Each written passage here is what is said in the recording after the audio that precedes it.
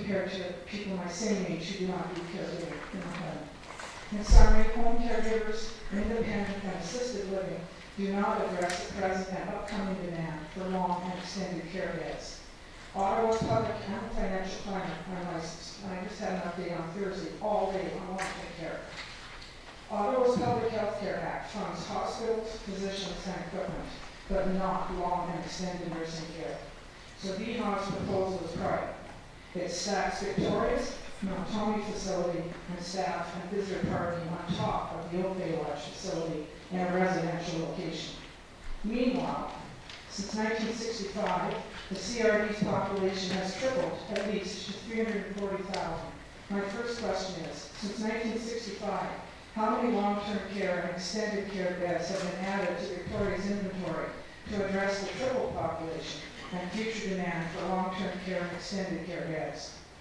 VHA on a flyer states the under Oakley Lodge, if rebuilt, could be retitled as public land, while the new Jan- Jeneece Place, including five and a half million dollars of Queen Alexandra funds, abuts Victoria General's Hospital parking lot will open soon.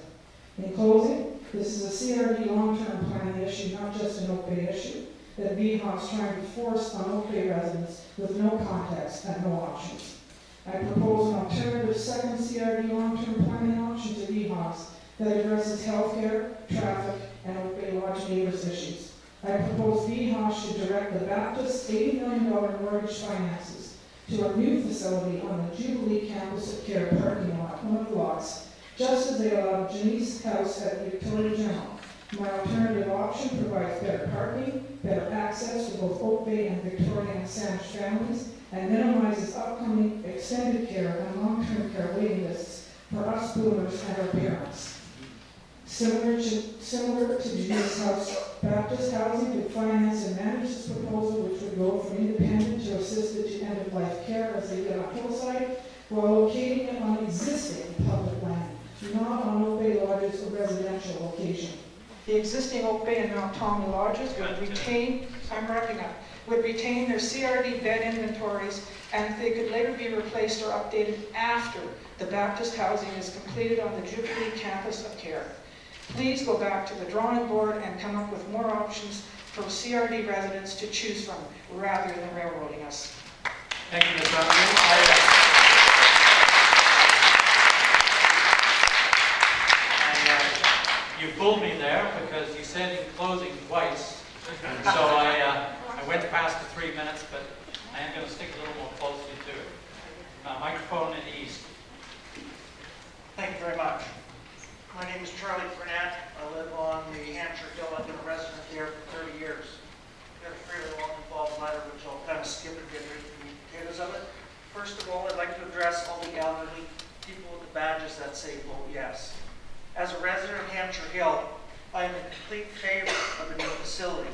Facility that meets our needs of four stories with 30% site coverage. We're not against a facility there. We just want a facility that fits into the neighborhood. More specifically, I'd like to get to one question. Um, Will the proponent, as a tenant of this property, pay municipal taxes? Rather late last week, our family inquired with municipal staff if they would be paying municipal taxes. We were told the assessment, BC assessment, was not prepared to provide a ruling on this because there was too many aspects of the project that were not clear for them. Fair enough. If BC assessment doesn't know that, how is council or mayor going to make a decision on this? The reason I bring this up, with a facility this large, can Bay property manage it as a municipality? For example, right now, there's approximately 40 first responders calls from our fire department to the Oak Bay Lodge.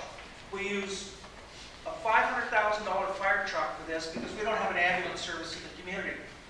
When we increase the amount to 320 level, bed level, with levels of care significantly more intense than the current mix, how many calls are we going to have? 60, 80? We don't know. What's the cost of that to this municipality? If we have an emergency or a catastrophe in the community, does our fire department and our emergency response people have the equipment to handle a six-story building, 320 people that we don't know how, how to get them out of there? Do we need to buy new equipment? Do we need to hire more? Fire department people, what's the cost and who's going to pay? Mr. Flynn, you have 20 seconds. 20 seconds? Okay, that's it? On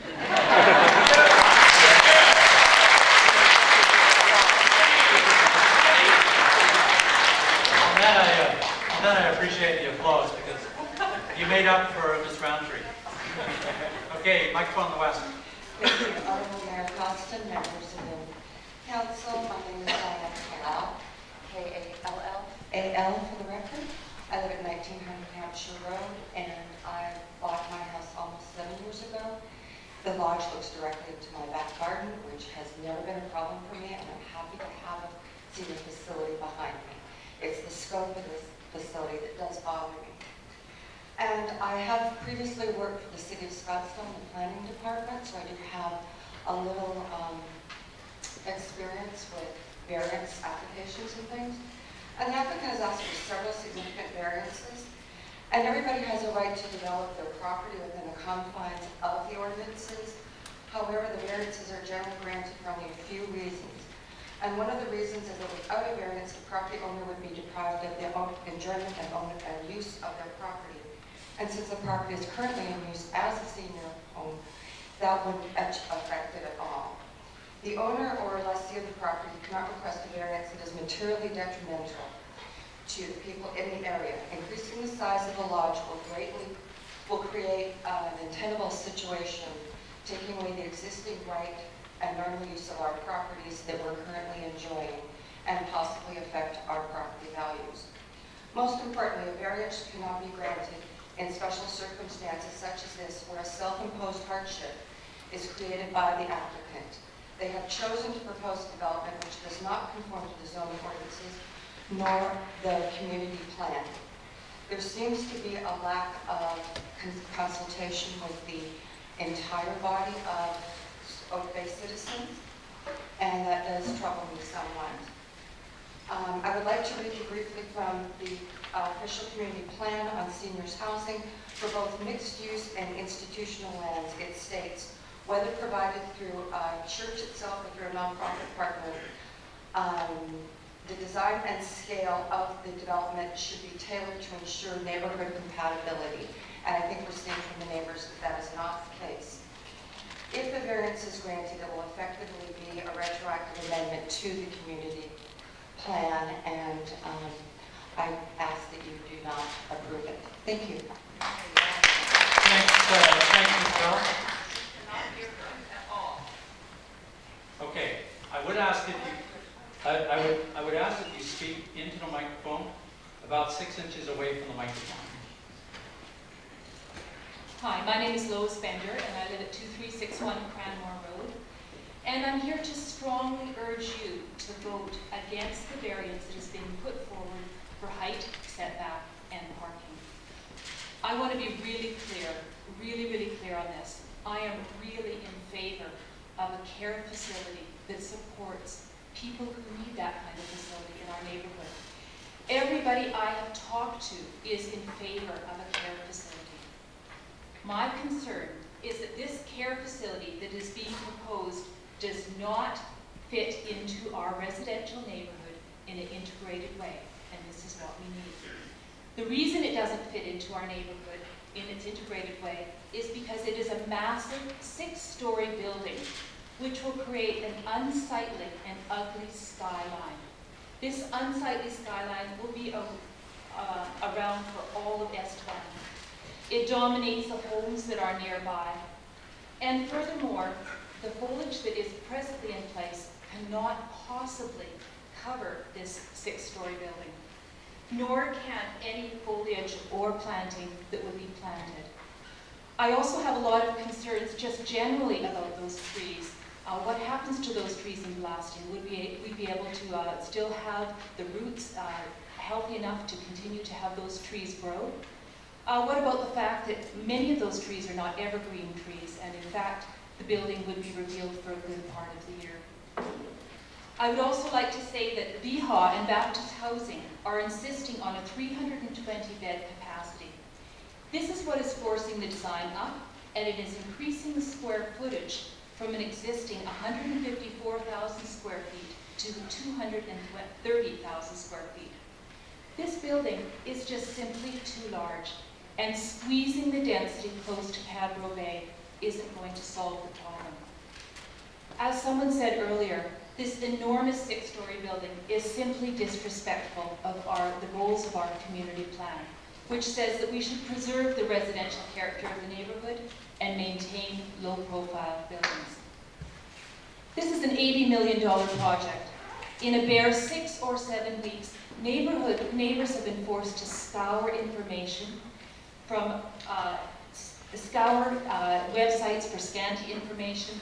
They have been required to analyze faulty and misleading pictures of the proposed building.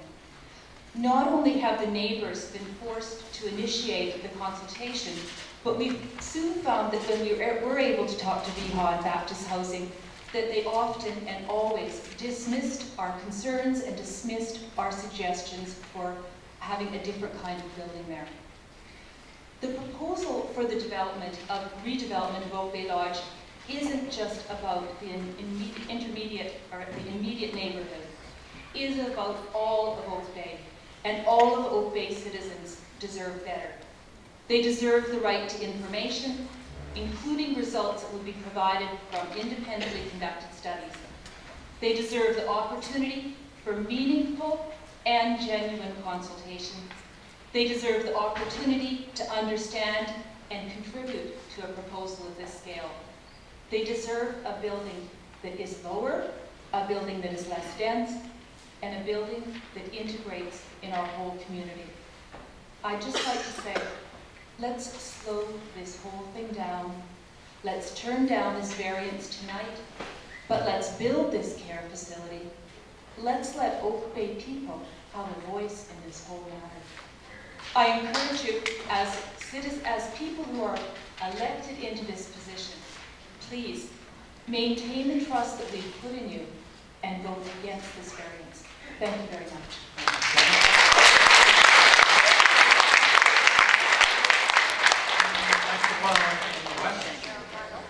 My name is Gordon Alexander. I live on Bowker Place. I have been a resident of Oak Bay for 11 years, and I have been living in Victoria, Greater Victoria, for 40 years. It's a it's a pleasure to address council. I would like to begin by thanking the councilors for their contribution to our community, because they, in fact, make our civil society uh, function, and I thank you, uh, both those who are leaving council and those who are remaining on council.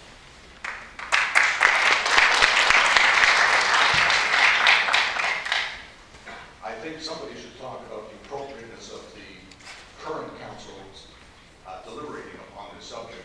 And I think that it is appropriate that they deal with the matter, and they deal with it tonight. They are the same council that was available last week. Uh, The failure of the sound system does not change the substance of the matter, and that is that the uh, application has been made to the council. Uh, They have had a chance to review the implications for the community itself, and I think that it is appropriate that this council continue to deal with the matter and deal with the matter. You have my letter on the subject, and I dealt in it uh, with the parking variation, which is actually anticipated in the official community plan, saying that it should be reduced. The amount is open, but nonetheless, that's dealt with. The official community plan is silent on the matter of height. It talks about compatible with the community, but uh, it would be a very strange matter to tear down a building and build one of the same mass. Uh, In our time, it just doesn't happen. I haven't seen very many developers doing that. I haven't seen very many of my neighbors doing that on their lots either. Some of those larger houses seem to come up on lots that had smaller houses on them further. I'd actually like to talk about a couple of personal things, and I do some driving for the Oak Bay Volunteers. And some of the people I drive live in the Oak Bay Lodge, and I have talked with them over the last couple of years, and they remind me every time I meet them that two years ago, all of us in this community were very concerned that the land was going to be sold to private development, that the lodge would come down, and that we were moving uh, in a direction that was going to move healthcare out of the public realm and into the private realm. This uh, proposal, it seems to me, addresses that, and it reminds me of my experience of living on the island. And when we're driving to the ferry, we say, "Dear God, just let me get on the ferry. Just let me get on the ferry." And two years ago was, "Dear God, just let us have a public facility for our elderly." However, when we get on to the ramp and we're just coming up over into the ferry, we're confident we're getting on, we say, Dear God, just let me be on the inside lane. Just let me have the opportunity to get off this ferry first. And I think that's the way we are tonight. Now we've got a proposal, we are on the ferry. We are moving and Mr. Alexander, Thank you. you've got a ferry line up behind you. So, uh, could you just conclude? Thank you. I suggest that we have a good proposal and that we should support it whose uh, husband uh, is uh, in a sufficient uh, need that she cannot care for him anymore, and the opportunity to have the possibility of space in our community is valuable, and my wife would appreciate being able to come visit me. I appreciate it, and I urge you to support this very. Thanks very much, Mr. Alexander. Next, uh, Robin, my name is Andrea Swan. Can you hear that? Yes, I, yes, I can. Okay. I live at 2443 Foul Bay Road, formerly, formerly lived on Cranmore across from the Oak Bay Lodge. I am a nurse and I currently consult to long-term care facilities in in Victoria. And I have, I also consult at Oak Bay Lodge in, in areas of accreditation and clinical education. But in September, when I got ready to go to the open house that Baptist Housing put on, I was very anxious because of the last six projects that VHA has put on, on has uh, supported on the island, five of them do not meet best practices in terms of design and development of long-term care facilities um, anywhere. The only one that does is the island, and it is uh, was started and is managed by a nonprofit organization. I, so I went to the meeting and I was very concerned because it's not typical that an organization, that a, that a, that a group are looking at best practices. So I went armed with all my questions. I was blown away. There was, I was so impressed with the work that, that Baptist Housing has done, with the design elements, and I felt, uh, because I've been involved in a process to, to do this kind of work, I felt I could ask very pointed, directed questions. They exceeded my expectations. And so on that basis alone, I really strongly urge you to move forward on this motion. The other thing I would like to comment on is that there is a large body of research that talks about what care is like in long-term care facilities, whether it's given, whether it's managed by a nonprofit organization or a for-profit organization. As far as I'm aware, there are only two large nonprofit organizations in the province that could, could do any kind of a significant project, and one of them is Baptist Housing. What it ends up is that when you go to a for-profit organization, all of the key care outcomes go down. With a nonprofit, that margin of, of money goes back into the into the into that that facility, and it gets you can see it in the quality of the support and the education and the equipment and a large number of other factors. So for that reason alone, I I just feel that if this is lost to the community tonight, you the, the chances of it coming back um, are really remote, whether it's to Oak Bay or the Victorian period, because there just are not enough nonprofits of this caliber to, to carry out this project. There's just one other little thing that I would like to You point out. have uh, 20 seconds. 20 seconds, that's all it'll take. On the, on the information sheet that was put out by Baptist Housing, it makes reference to the fact that there are 280 beds currently at Oak Bay Lodge versus the proposed 320. I'd like to make that, just to bring that, that that uh, number of care beds is actually the result of money that did not, that was cut off from VHOT. It's not a result of the number of people that can be housed at Oak Bay Lodge. Up until a few years ago, the care beds, not, not including independent living, but the care beds were 287. A daily census was 287 plus your ILU beds. So again, my, my vote is for going ahead with the project. Thank, thank you, Ms. Swan. Microphone, um, request. I can call it Thank you for allowing me to speak. My name is Grace Panett of 1958 Hampshire Road. I was born and raised in Oak Bay. I attended Monterey Elementary School, and I graduated from Oak Bay High. I have been a neighbor of the Oak Bay Lodge for my full 20 years of life. My story begins when the Lark Group, through a realtor, approached my family to sell our home to them for the development of, the, of an expanded Oak Bay Lodge. This was days after the first request for proposal went out from VHA on November 16, 2009. Their tactics were disrespectful, and they even tried pitting neighbor against neighbor. Later, in my research, I found them to be acting on behalf of an unnamed and soon-to-be proponent for the redevelopment of the Oak Bay Lodge. I myself, I ask myself if these people were so principled to be building seniors housing why they would behave in this manner is unethical. Transparency in a government is required at all levels, beginning at the municipality level and flowing through every, le- every level, including agencies and authorities like VHA, who are completely funded by fundraising and provincial and federal taxes. Transparency need not stop there, but continuing on to businesses that do business on behalf of government.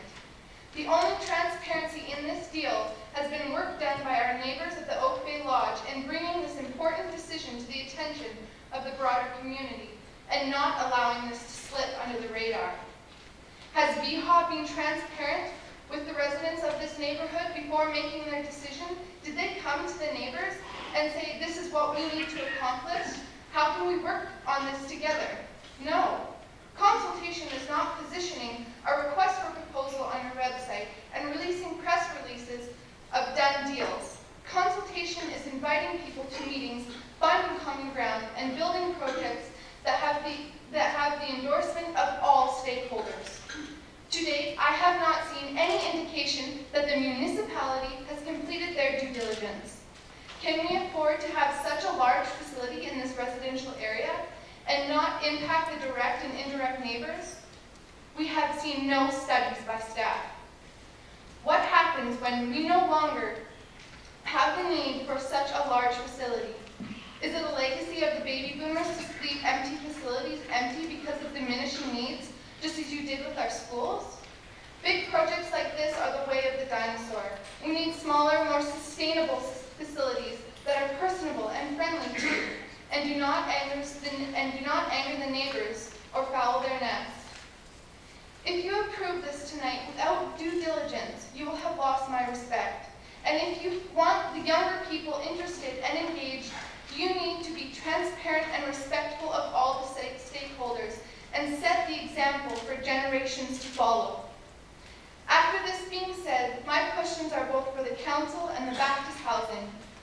What are the direct benefits to all Oak Bay citizens? And where are the new studies of this repositioned building, not only done by Baptist House, but also our municipality? Thank you.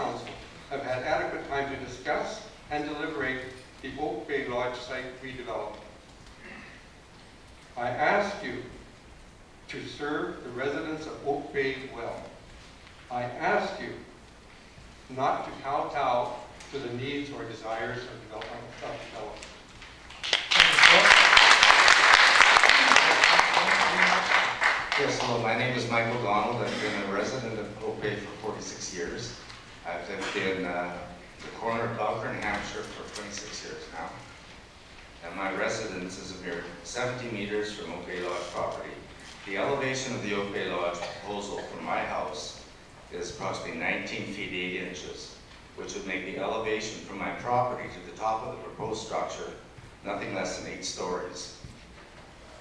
The current proposal to build a high-rise in a residential area goes against the current bylaw 3943.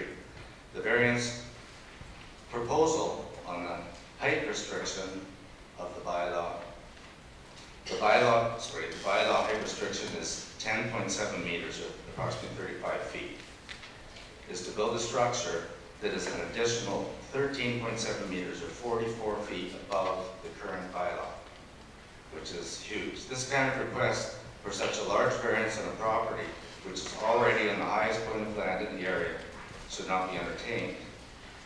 Has council had time to necessarily, oh, sorry, has council had the time necessary to fully assess this project? Have they done their due diligence? Has council consulted the municipal advisory design panel? Have you consulted with fire chief as to their responses and to what mutual aid would be necessary. I know there's been no discussion at the regional fire chiefs meetings. Why should council be concerned with whether the Baptist housing project is fin financing is in jeopardy due to time restraints? Why should council be rushed on one of the most controversial projects ever presented to them? And also, why should council listen to threats from BHA that they may move the project elsewhere? Thank you. Uh, The blue microphone? Can can you hear me okay? Uh, If you speak a Is little that closer. better? That's better. Okay. Now I can. My name is Joan Bancroft, and Oak Bay resident. I live at 1950 B Street, living under Baptist housing for 15 years. I would like to present my support for the Baptist housing plan to build on the Oak Bay Lodge property.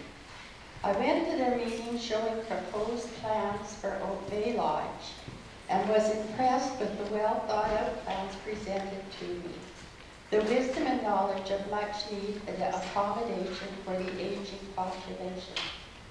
I was very impressed with the plans and the thoughtfulness regarding Alzheimer's, pleasant environment, as well as their safety as separate section. This is an important issue to, issue to everyone and to myself. Many Alzheimer's have been placed in housing at this time, not equipped to give them the care they need, which is a great concern to their families and the community on the whole. Baptist housing will be a benefit to our community and fill, fill many important needs.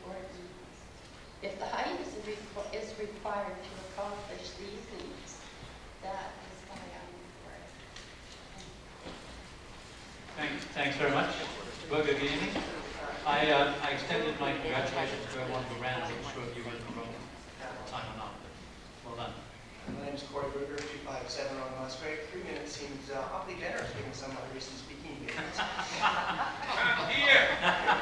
I did have a number of questions. Mr. Berger, no one heard you say that. Sorry, I, I- I said that three minutes seemed awfully generous, given some of my recent speaking engagements.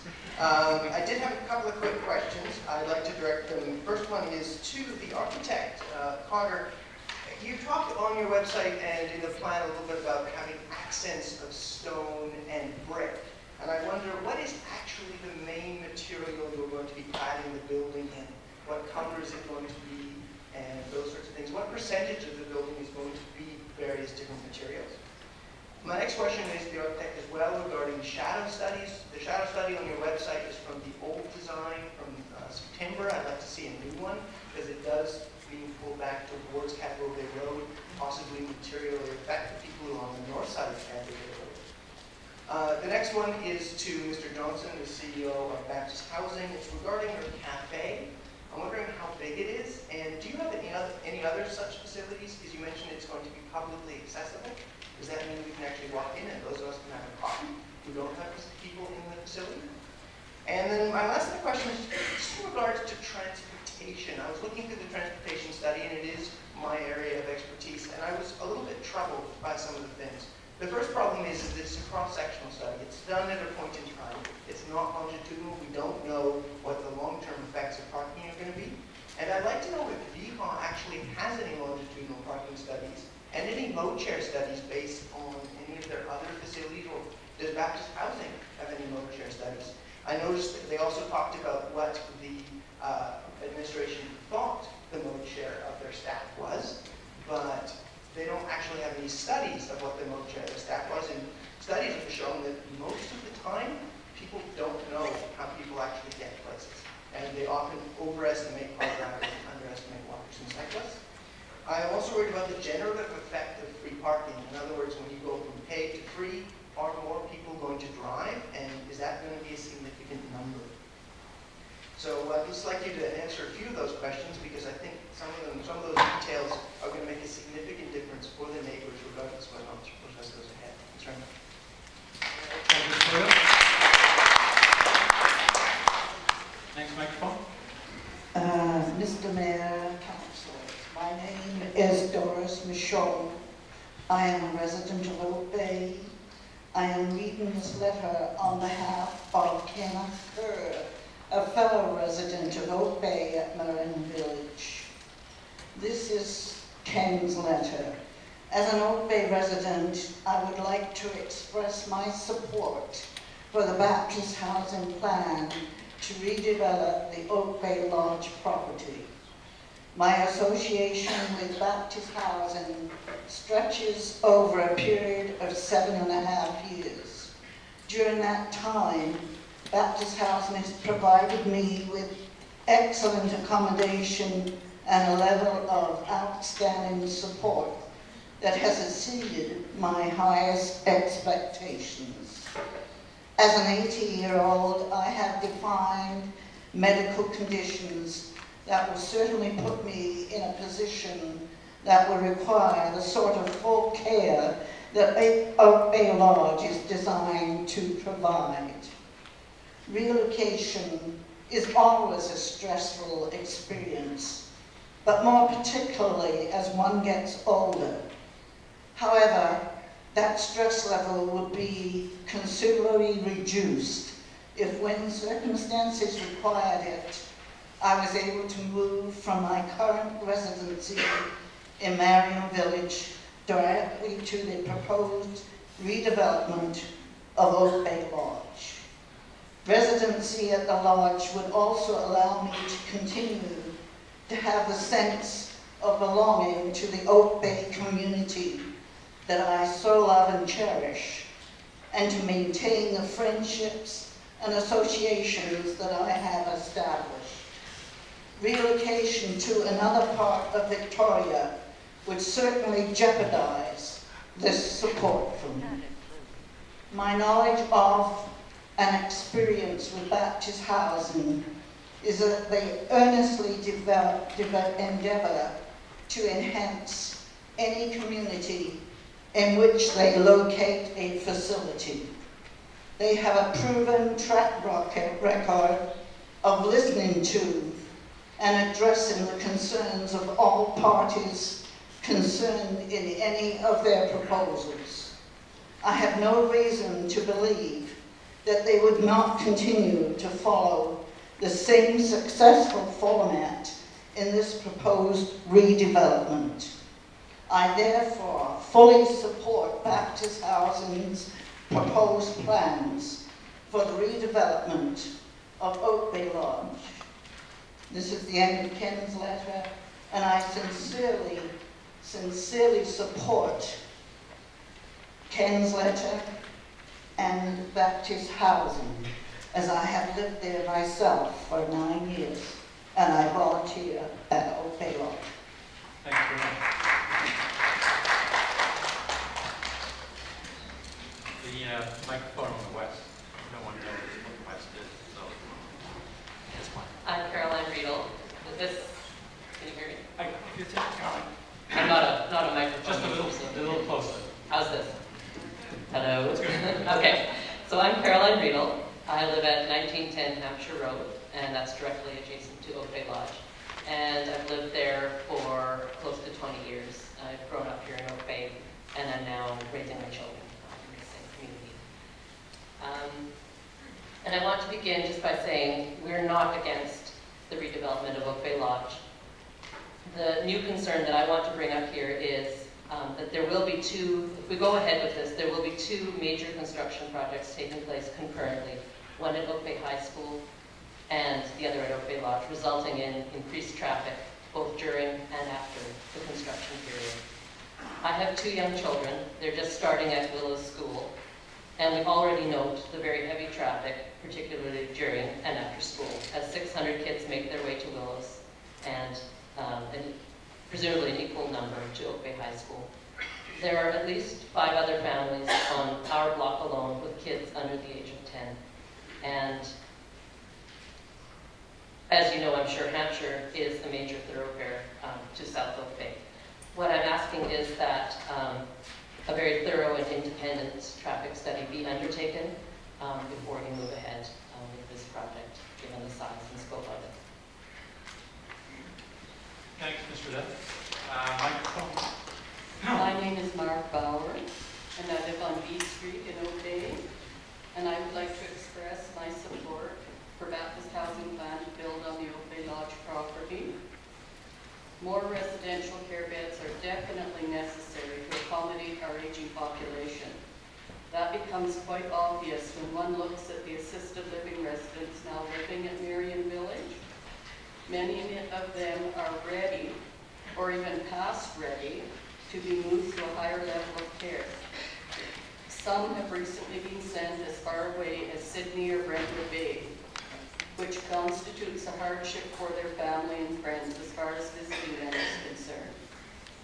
It is understood that living in Oak Bay would not give them a direct pipeline into the new facility in Oak Bay, but it would at least give them a chance to relocate nearby. Without this facility being built, they would have no chance of moving up to a higher level of care in Oak Bay.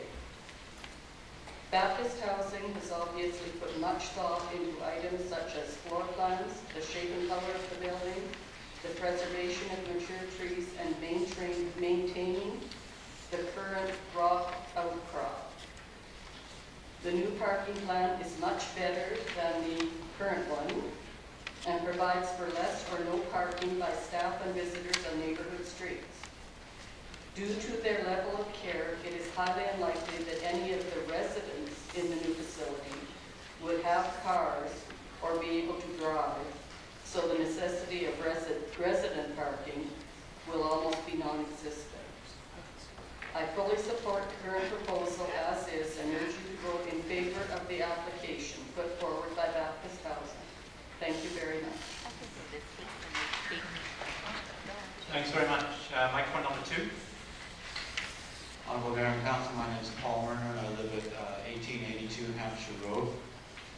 Um, Last week I had a speaker, Eric, that spoke to my opposition to the proposed redevelopment of Oak Bay Lodge.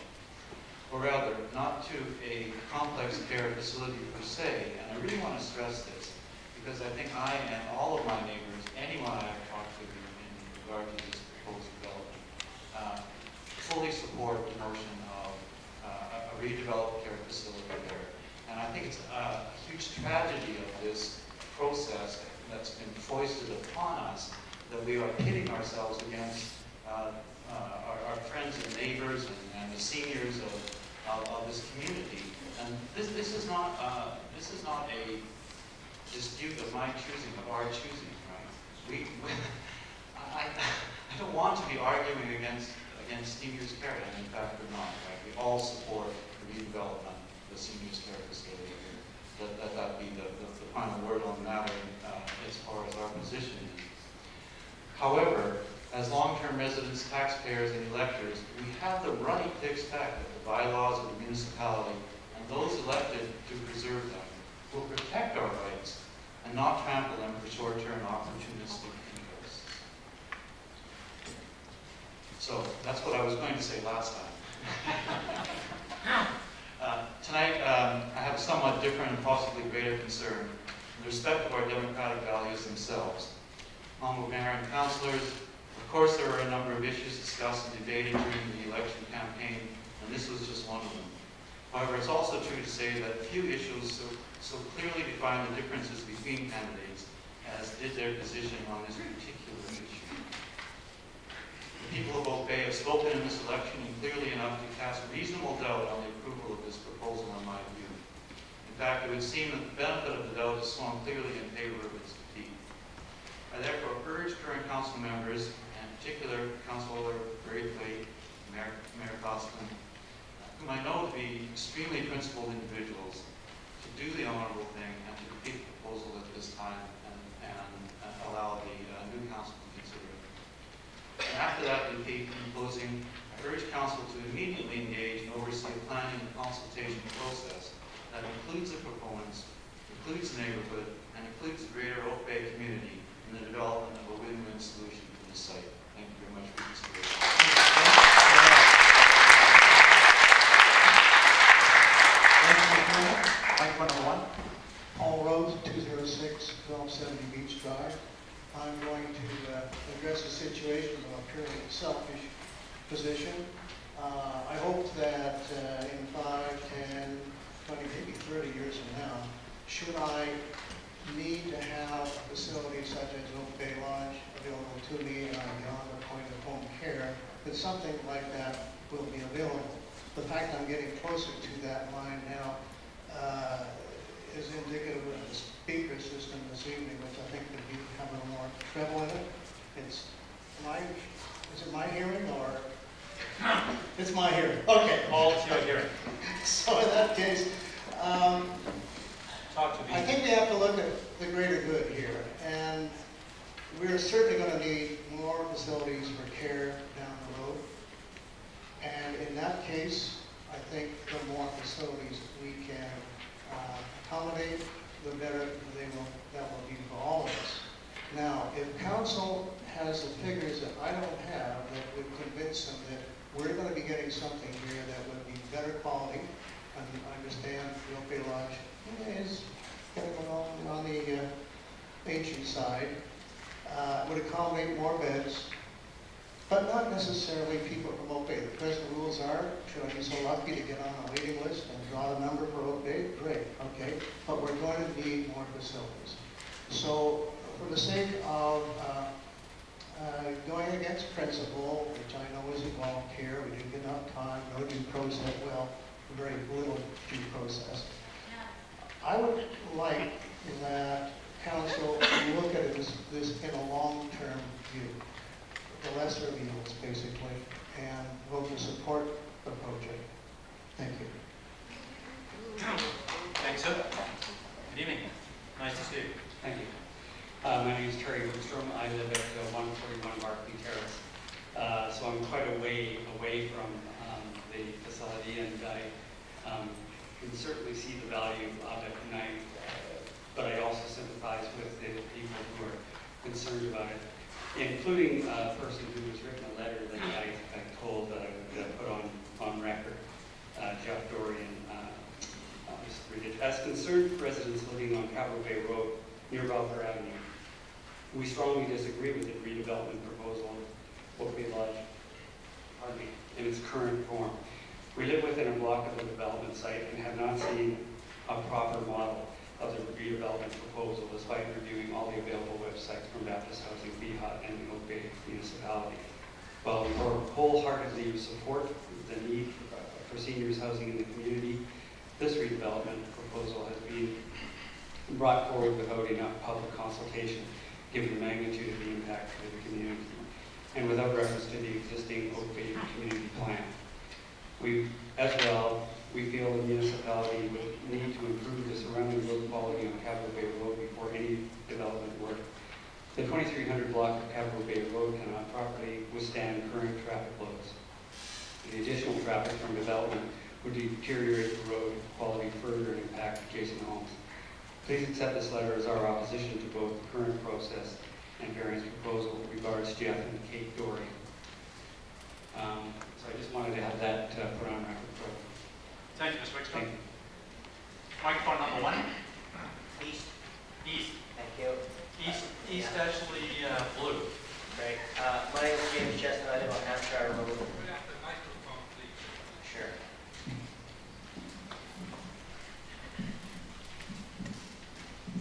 How's that? Good. Great. Okay, uh, my name is James Chestnut, I live on Hampshire Road. It's interesting to listen to the uh, discussion tonight. It tells me a couple things. The first thing it tells me is that there's a real discrepancy in the amount of information that people have based on the people who live right next to the facility, proposed facility, because we've been at council meetings, and we, of course, the bylaws itself state, if I'm not mistaken, that it's people within 100 feet of the variance application site that get notification. That in itself turns us into a special interest group, which I'm frankly offended by. We are not a special interest group, but we are made such because nobody else has been given the information we've been given. So what's happened is the people without the proper information are getting up to this microphone and defending Baptist housing, but Baptist housing does not require defense from anybody in our neighborhood. We are not suggesting they're not going to use best practices. We are not suggesting they don't provide good care for the elderly. We are not suggesting that we don't need more beds for the elderly. We are not suggesting that this facility should not be redeveloped. We are simply been put in a place, forced into a corner by Baptist Housing, who have said, if you don't approve this, we're walking away. Let's be very clear about the ultimatum that was given. It was not given by council. The ultimatum was given by Baptist Housing. We've got Councillor Herbert who openly states tonight that he has no idea if the financing issue is legitimate or not. We have the mayor quoted in the newspaper saying he would love to have more time, but he's afraid they're going to walk away because of their ultimatum based on financing, but nobody's done due diligence even to know if this financing is an issue. We have a letter read tonight that says if we don't pass this variance tonight, they're going to go to another community. How are you going to do that without financing?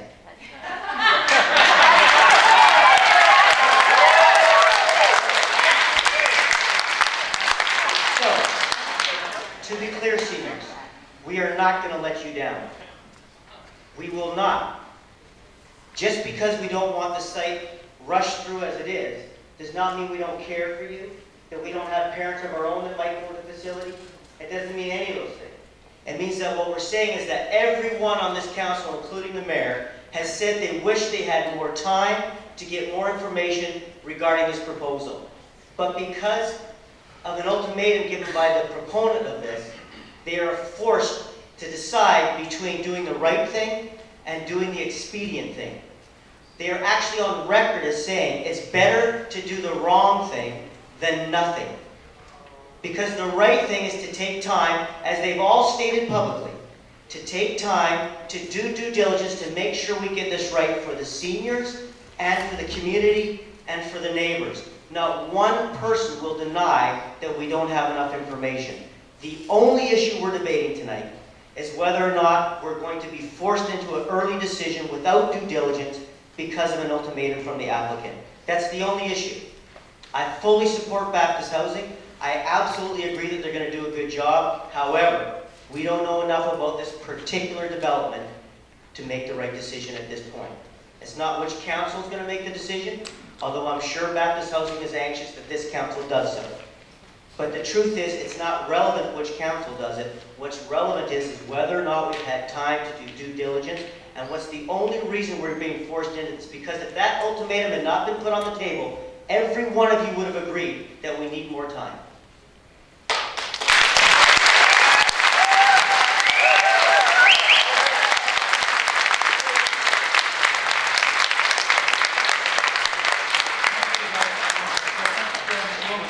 Uh, Mike Weldon on Henderson Road, and I'm going to follow the theme to a large extent of the previous speaker, but we'll try to add another dimension to it.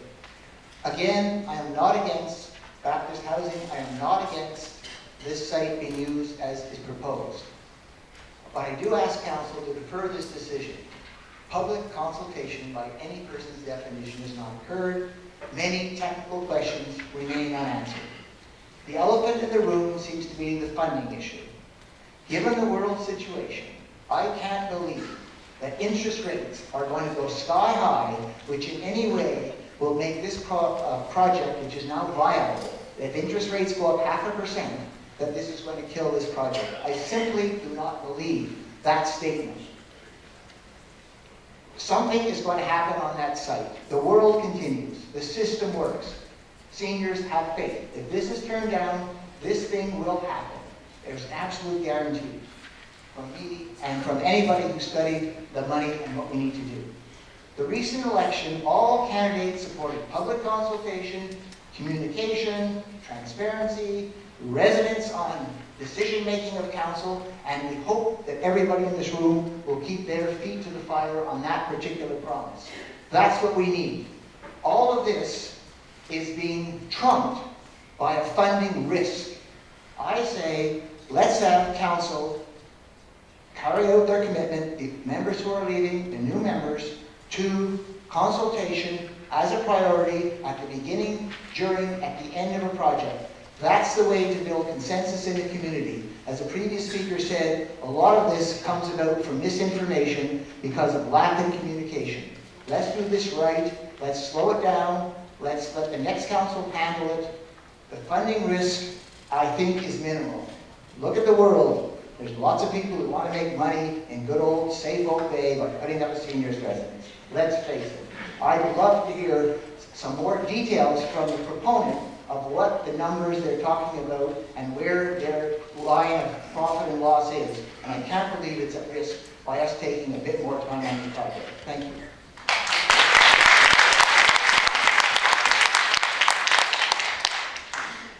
My name is Leo Martin, and I live in Oak Bay. Uh, one would think that we were building uh, this facility in a parking lot. Uh, the variance, uh, to my understanding, is inches higher than this uh, panel, this screen here. Uh, we're thinking about our elderly and sick with this facility. For this, this is going to help thousands of people over the next number of years. And when I, when I hear that the majority of people in Oak Bay don't agree with this, I, where do you get that information from? Uh, but you know what? Loud minorities always speak for the silent majority. And I'm very happy to say that I'm not part of the loud minority here tonight. So please, uh, my wife and I, uh, we live in Oak Bay. We live in a very busy road. There's traffic every day, but that's part of the price you pay for living where you want to live. And I think this project should go ahead without further delay.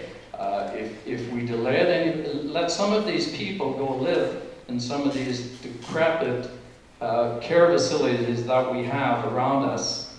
Let them go live there for two weeks and then say we should delay this. Please go ahead with this. Thank you. Thank you, Mr. Martin. Uh, Heisted from 2051 Hampshire. Again, I can only reiterate what uh, previous speakers have said in favor of Baptist housing, in favor of um, getting new places for our elderly to live. I have an 86-year-old mother that will soon need care. Uh, I would hope that she will be in my community somewhere. But I have to question the, the partner in this, a VHOP. Any project management would have far greater to bring to council than the end of summer through the first of September, when they're talking about eighty million dollars for the project. That's a very, very tight timeline to give to you folks to try and make a decision on behalf of the community. I don't think it's fair. I think you're being real. VIHA has kind of been silent. And I, and I just can't tell you enough how much it would have been beneficial for them to not bring this forward in August. We're talking a long time here. 2009 for the RFP, 2010 brought to CRD Health, I believe. Um, their cost and director, correct? So you have seen these plans long ago. This put off waiting for funding. This is a huge funding deal. All of a sudden, August 2010, oh, funding's placed for excellence. Know, it, it, it just it just smacks of snake oil salesmen say, no, no, no. It's not now. It could be too much. We just want consultation. We want to look at some of the size of this project as it affects me and my neighbors. I just don't think it's fair for you. I think you deserve a longer time period, and I, as a citizen, deserve a better look at the project. That's all I have to say, except for one thing. I question that steel model back. Is it to scale? Is that actually to scale? Anybody tell me in the question? Sure it doesn't look like scale to me. Anyway, thank you all for doing a great job.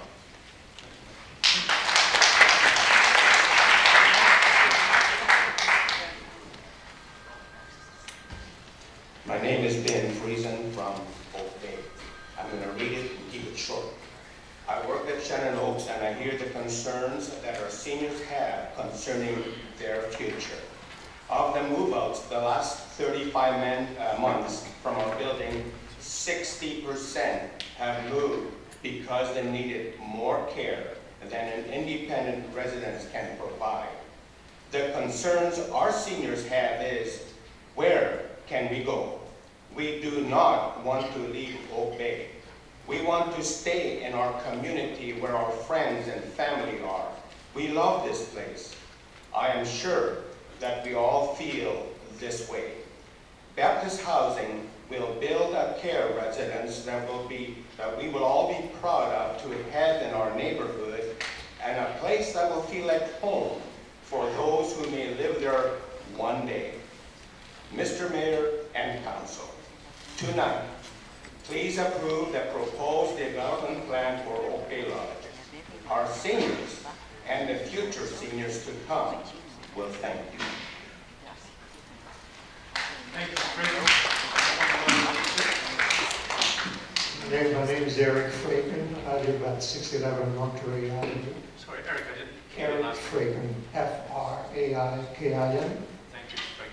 Um, I've been there for, since 1996.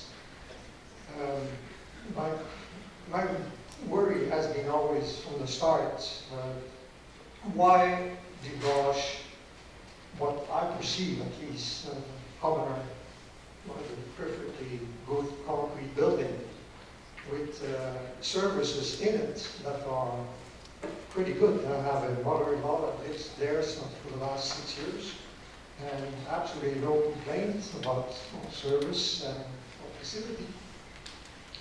I hear from the, I, I questioned the, uh, the architect about it, he said, oh, the structure is falling apart, the brick are falling.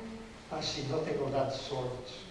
I wondered if the council members have ever read the uh, report of engineers about the quality of the, the existing building. Uh, I, I really question that. And, and if it is really in such a bad state, are there any plans uh, being produced showing what could be done to repair the whole thing and put it to standard for uh, for earthquakes and things of that nature. Uh, that's an alternative, and the present proposal only adds 40 beds to the existing facility. It's already functioning as a seniors place. So uh, I put it to the council, the, to, I hear even the last week, uh, the mayor saying, no, they would be keen on looking at other facilities uh, elsewhere. Well, no. Another proposal, why not, you know, repair what's there?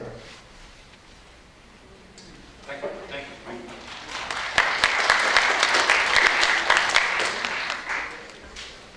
Mr. Mayor and council, councilors, uh, my name is David Rodenhuis, R-O-D-E-N-H-U-I-S, at uh, Bowker Avenue, uh, just within sight of the, the uh, facility and part of the traffic pattern that circulates there. Uh, First, I'd like to leave briefly a question. What is the plan that Baptist Housing has for uh, taking care of the seniors for a period of time under which construction, the building will be demolished, will be blasting, reconstruction, and what, how long will that period be? Uh, I'd like to now uh, support the redevelopment of the Oak Bay Lodge, and so do my neighbors that I talk to, and I actually expect to be a resident uh, there pretty soon, so wait for me. Um, I like uh, the improvements over the current conditions. In particular, the height is a little more, little five meters more. There's a reduction in the footprint, slightly, and uh, they're taking care of the parking problem, so that's good. I like the Baptist Housing and the architects, they adjusted their plan to earlier criticism. Some, good, I like that. But, and you heard all the buts, I won't go through them, in particular with regards to the height. It's 44 feet above code, I I heard reported, as well as only 14 feet above what it is now. So there's this difference of opinion. All of this is now irrelevant. I've been watching this process now for a month or so, or more than that. Um, The, uh, the uh, neighbors are fighting among themselves. We have the seniors uh, concerned about whether we love and the defense that we are really carrying uh, for for this facility. So it seems to me that, and, and by the way, I think if due process were to take place now, ladies and gentlemen, that we'd end up with something like this solution. I might be wrong, but it's a reasonable kind of thing. But the process has broken trust with the community. That's my observation. Okay? Um, I couldn't have done it better, but that's where we are. We're at each other's throat. Positions are hardened. The, uh, there's inter-community antagonism. The council, I have seen, is divided rather equally on this problem. Uh, This is an $80 million project. It deserves careful vetting. It deserves community support. We have to come to the place. We all agree we want the housing. We want good housing. It has to be upgraded in some way. So this has to go back and do it right. And I regret to tell you that, but that's what it seems to me. Thank you. Thank you, Mr. Rodenhuis. Uh, microphone number two. Yes, my name is Michelle Coburn. I live on Henderson Road. I have come more recently to concern about this and have been trying to get information. I am very concerned about the contract. VHOP writes a contract. What are the consequences of that contract? And what can we do in Oak Bay other than to say we want to have some participation in the negotiation of what is going to happen on that site? Now, you're going to have land leased to Baptist Housing, and they're going to hold a lease for 60 years, is my understanding. 60 years is an incredibly long time. Many things can happen in 60 years. Now, can they sell that lease? Because generally speaking, when you have a lease, there's a, an escape clause of some kind if things aren't going the way you want, or if your circumstances change and you don't want to have that lease any longer. What I would like to know is what is in the contract, who sees the contract, and does Bay have any say at all, really and truly? Or should we be looking at what is VHA doing with Baptist Housing? They've certainly raised a lot of concerns that we've heard tonight. Thank you. Thank you, Ms. Coburn. Microphone number one. Thank you. My name is Rosella Friesen, uh, and I live in Oak Bay. Uh, Mr. Mayor, and Honorable Council.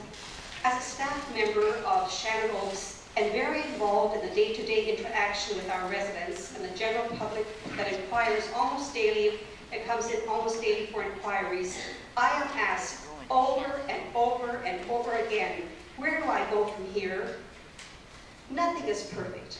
However, I would sincerely invite everyone in this room to come and have a tour of Baptist housing, I mean of Shannon Oaks. Don't all come at the same time, but you're welcome to come. I would just, it would be an honor for us to be able to show you the, um, uh, what Baptist housing has accomplished, the quality building and the residents we have here. They have a proven record, and I can say it is an honor to work for them. Tonight, I realize that the ramifications of, this, of a decision today is huge. However, when we embrace a situation like this as a community, every one of us will face a mother, a father, a grandmother, a grandfather, a husband, a wife, and trust me, I hear this. When, when it comes to our own parent, we want the best. It's not good enough just to have um, like sometimes we think, well, if they're, they're older people, it's good enough for them. I'm sorry, but it's your own parent. It's not good enough. We want the best. And I believe that Baptist Housing will build the best. Thank you. Thank you, Ms. Friesen. Microphone number two. Hello, my name is Jessica Vanderveen, and uh, good evening, Mayor and Council. Thank you for this opportunity to speak on this subject. Um, when I started out to try to stop the land from being sold off two years ago, I had two things in mind, and one of them was that the seniors care should be rooted in community and Bay, so we could all be near our friends and loved ones. And the other one was um, the desire to keep uh, the delivery public really was in my mind. And I know that's not what on, is on the table tonight, but I do agree that this deal makes it a heck of a lot more complicated for us to find out what's going on and for the deal to be accountable. When Howard Waldner was invited to come to Bay Council in January of 2010, I remember council asking, I believe it was you, sir, who asked him um, for a comparative cost-benefit analysis of renovating Bay Lodge, sorry, it's drying, um, versus renewing. And I know that at Saanich, with regards to Mount Tolmie Hospital, which I was also hoping to stop the land from being sold off, it was requested a comprehensive plan for seniors care for the South Island with timelines and targets and beds so that this project could be viewed in the context of a big, sensible plan, a long-term plan for seniors care. Because there's no question we have a great tsunami. Nobody denies that.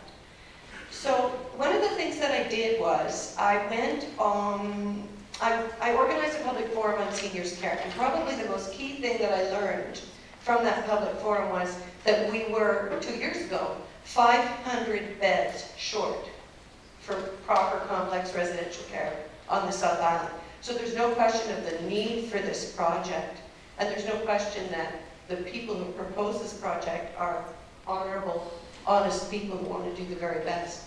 It's just so damn big. Really, is what it comes down to. I also went on a tour of the lodge with the staff, and um, it's actually in pretty good shape. Was what I learned from the maintenance staff. They said probably the most uh, um, important thing you could do would be to refenestrate it, because it would really improve the environmental profile of the building as it is. And also that in 50 years, the balconies won't be any good anymore. So um, what that brings me to wonder is, if we're 500 beds short on the South Island right now, why are we not keeping that 277 beds that we've got in the lodge and building more in Oak Bay? Someplace else. Where? Where? I, I think it would be great if it was close to, you know, but that's speculation. It's an important question to put on the table because it is part of making a proper plan for seniors care.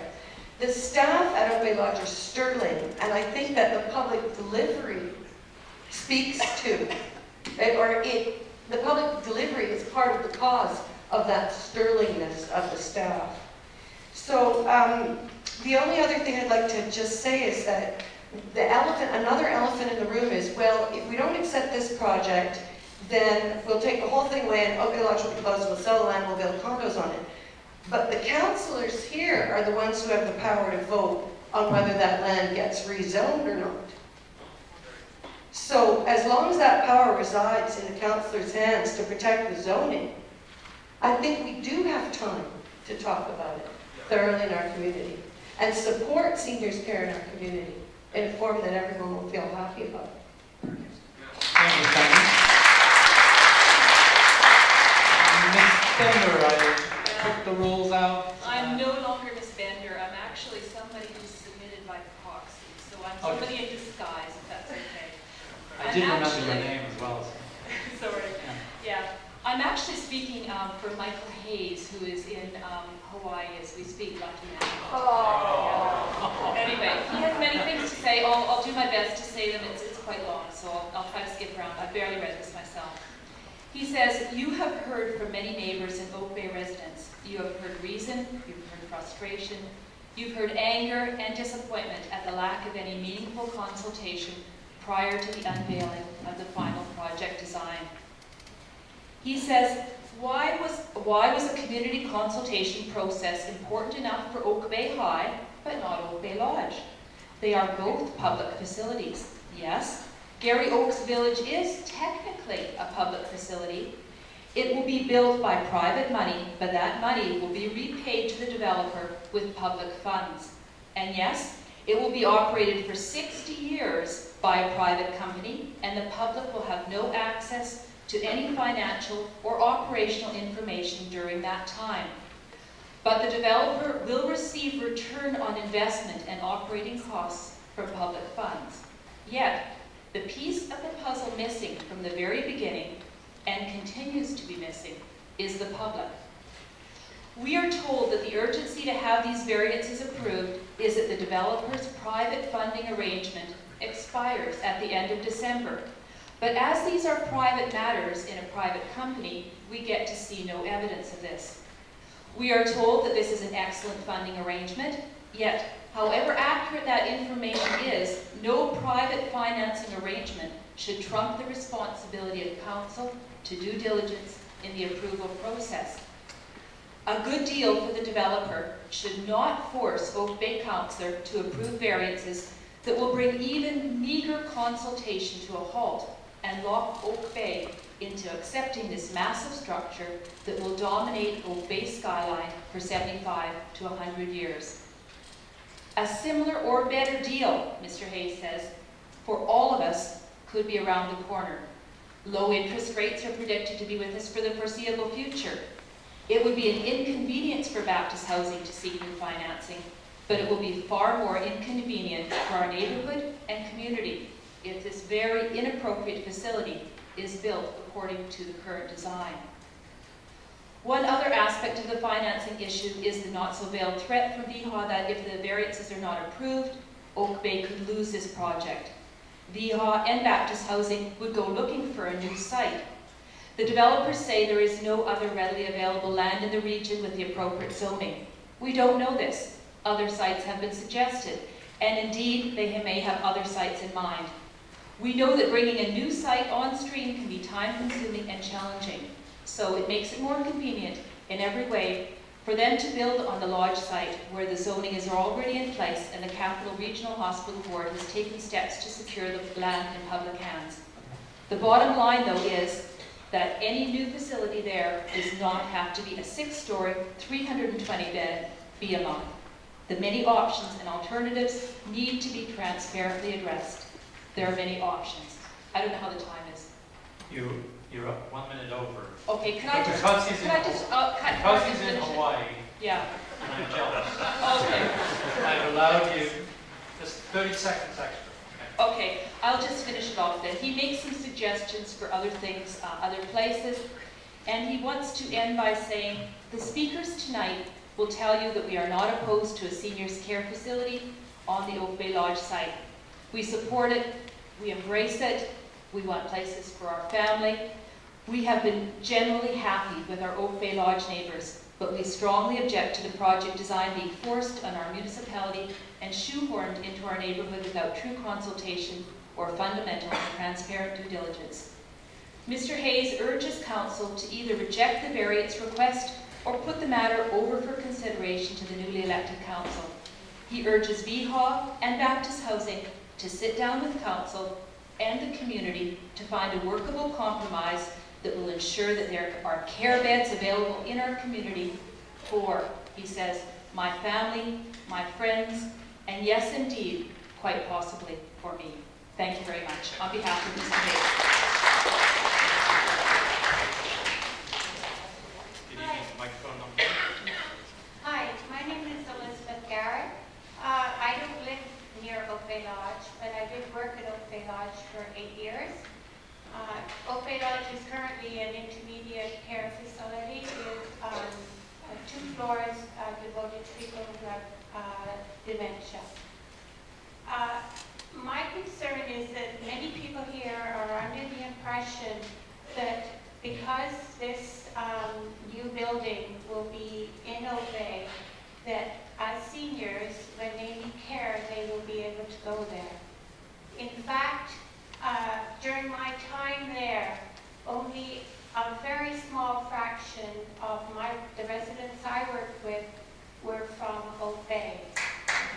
Um, that's very unfortunate, but the reason is that uh, when a bed becomes available at a long care, term care facility in the capital regional area, uh, that bed is assigned to the first person on the waiting list. That may be someone in hospital, it may be someone in the community. But it won't necessarily be someone from Oak Bay, unfortunately. My residents came from James Bay, from um, Fernwood, from all over Victoria. Uh, the only people generally who were more from Oak Bay were on the fourth floor, which is the independent floor. And even those people who currently live on in Oak Bay Lodge on the fourth floor don't get to move into Oak Bay Lodge uh, because they're treated as a member of the community. So just think about that when you're thinking about whether we really want such a big expansion of Oak Bay with a lodge. It's not going to necessarily mean more beds for people living in the community. Thank you.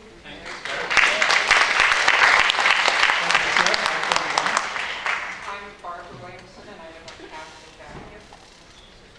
Yep. Closer? Can you hear me now? Yes, if you, six inches away is good.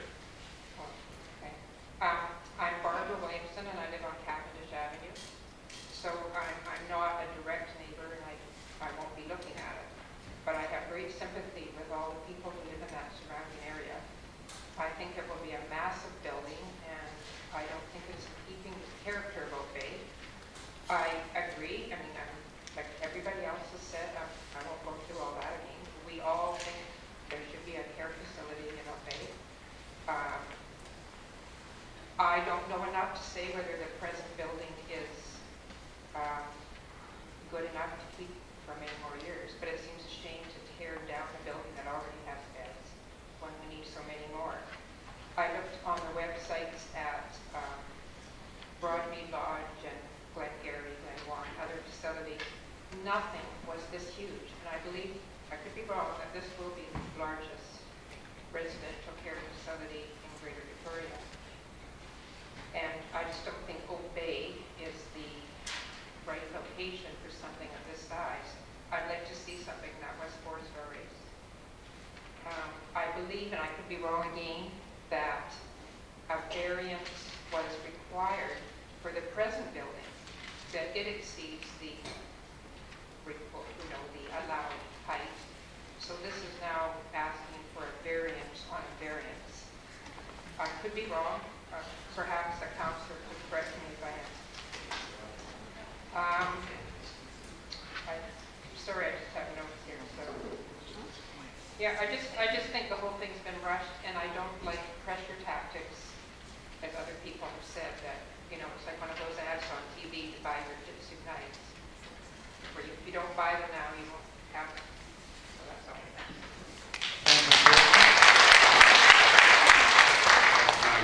Is the green microphone, Hi, my name is name- Heather Vincent. I live at 2252 Cranmore. I'm the Cranmore Block Watch Captain.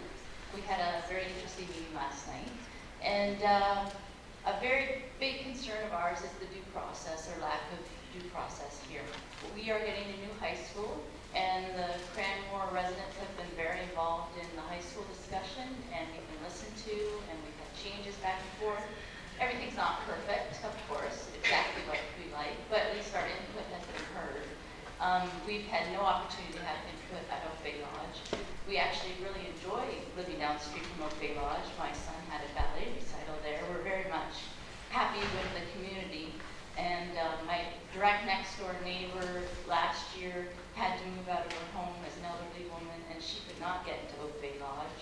So I'd like to reiterate that because you live in Oak Bay does not mean you get into Oak Bay Lodge at all.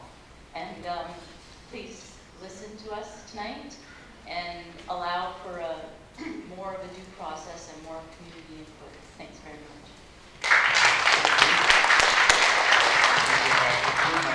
East microphone, please. Hi, uh, my name is Kathy Grebo, and I live at 2363 Holker, uh, right around the corner from the Oak Lodge. And I repeat over and over again from all of the 20 people that are right around this building, no one is opposing renovating or building a new four-story facility. This building is too big for this corner. There are already major dangerous traffic issues. I worked downtown when the atrium was going up. It's a six-story building on Blanchard at ground level. We all had to route around downtown to try, this, this is right downtown. Um, secondly, I circulated a petition in the neighborhood. Um, and it took me hours to do it. I'm a bit nervous here. Um, I got close to 100 signatures, but the point was 90% of the people in the immediate area of this building, not just our little block, knew nothing about this building, absolutely nothing. And to me, that's, that in itself is just a failure of the municipality that I love. I love Oak Bay, but that in itself is a failure of communication, of, of letting people know what's going on. Um, yeah, it, it was a bit disheartening and uh, I'm, again, I'm not against a care facility, but I urge you to please give this more consideration. This is bad and this is wrong. It's a residential neighborhood, and it's way too big on that corner, on that hill. Uh, we don't own properties, it will devalue our properties, and please, it's not about health care of seniors. It's just wrong. That building is just wrong, and it's too big. So I just urge you to please wait and consider this variance application. Thank you very much.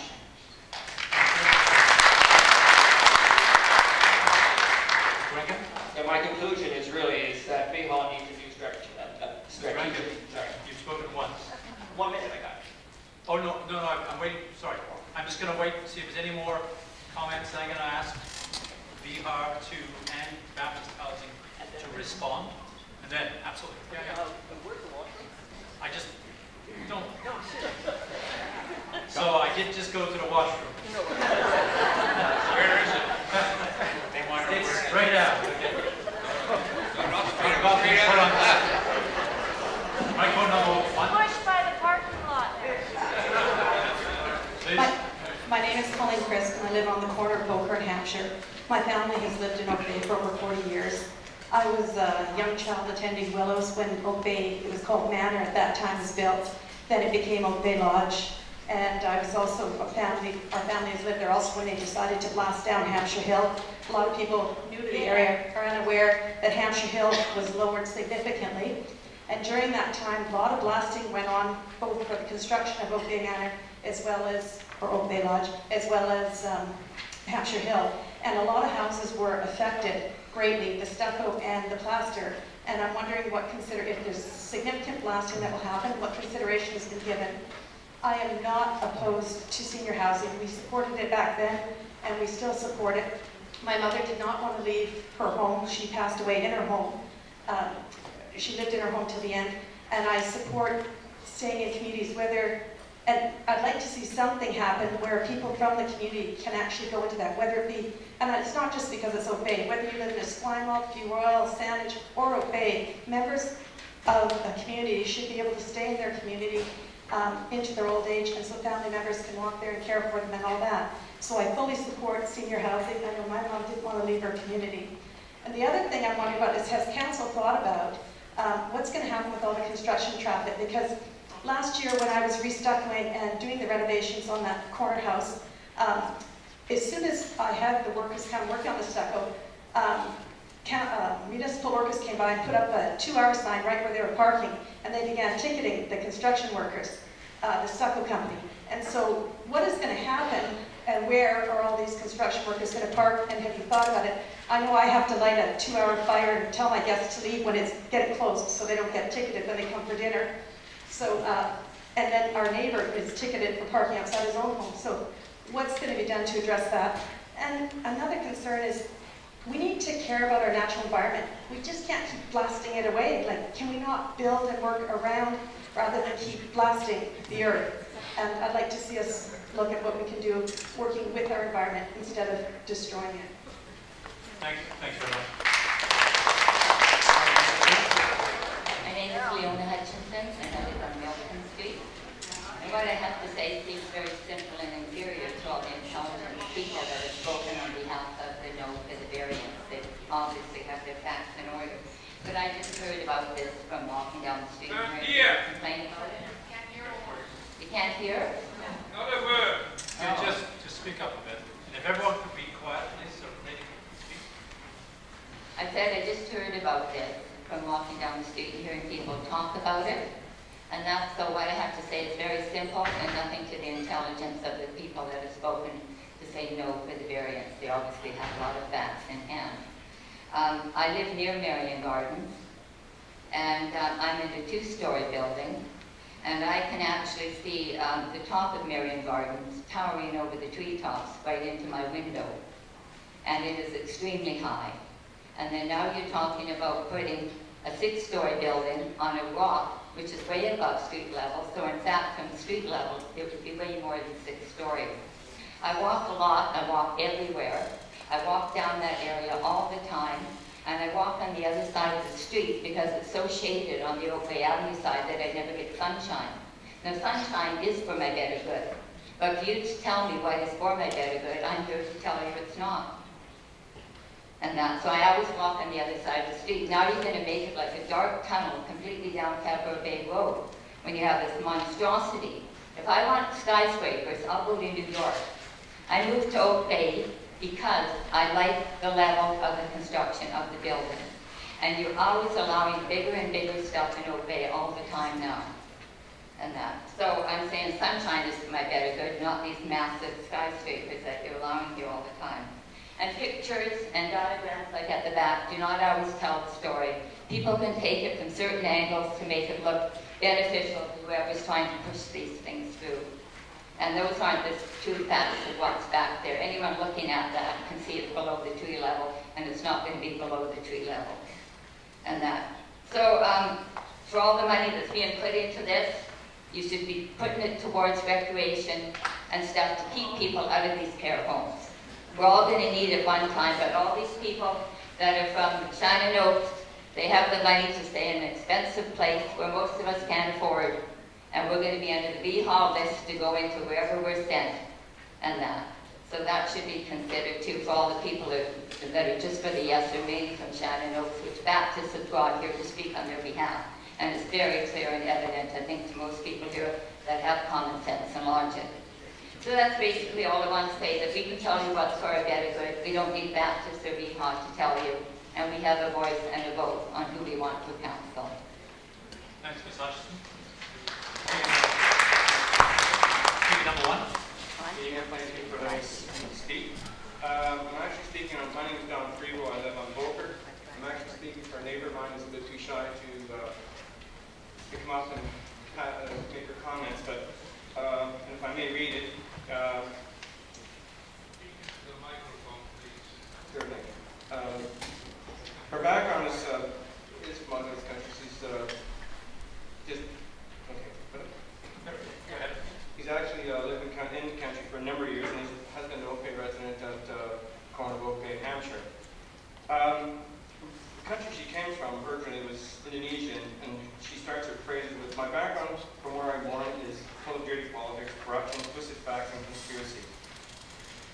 This, and I'm going to paraphrase here, this changes the angle of my regard for uh, Oak Bay Lodge.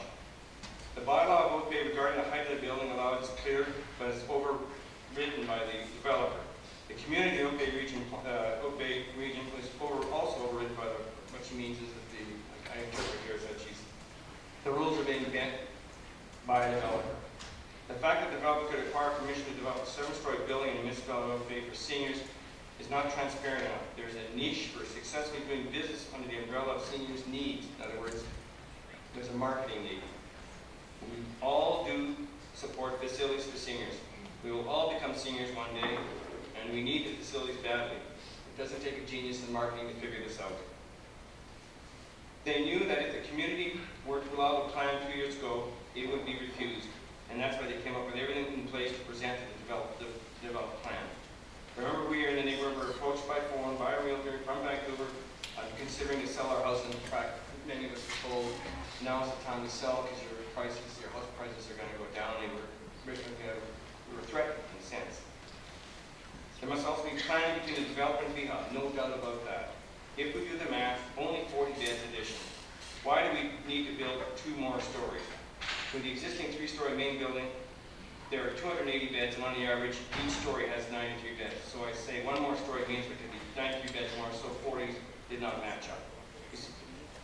She mentions that she would like to, uh, that's where it ends right there, but she, really what she wants is, uh, from what I can gather from this, more transparency, more community planning, more input, and from what I can tell, continue with the old lodge and uh, make, make provisions for a new one.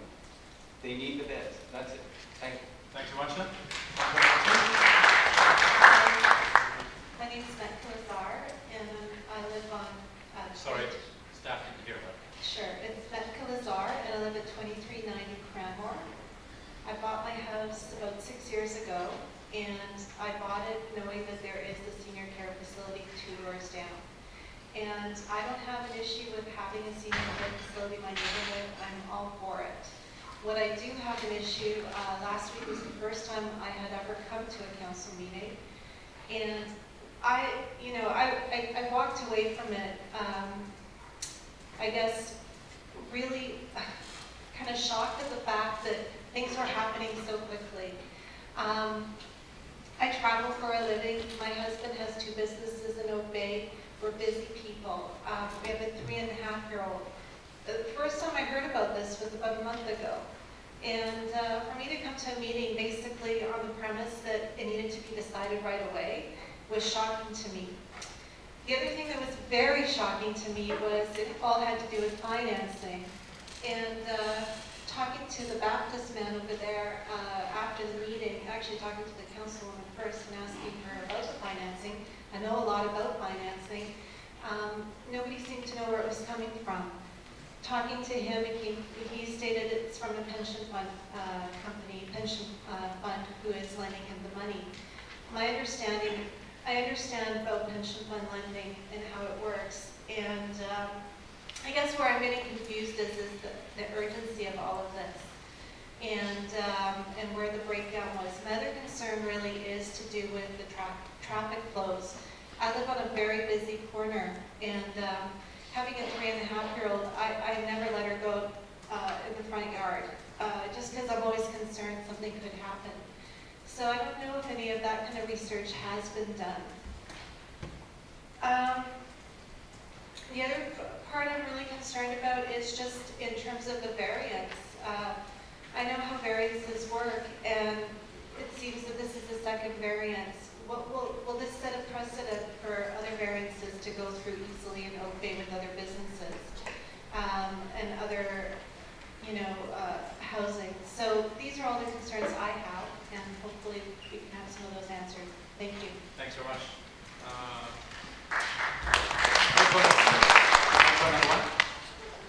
Mr. Mayor, my name is Bruce Phelan. I live on Belgrave Avenue.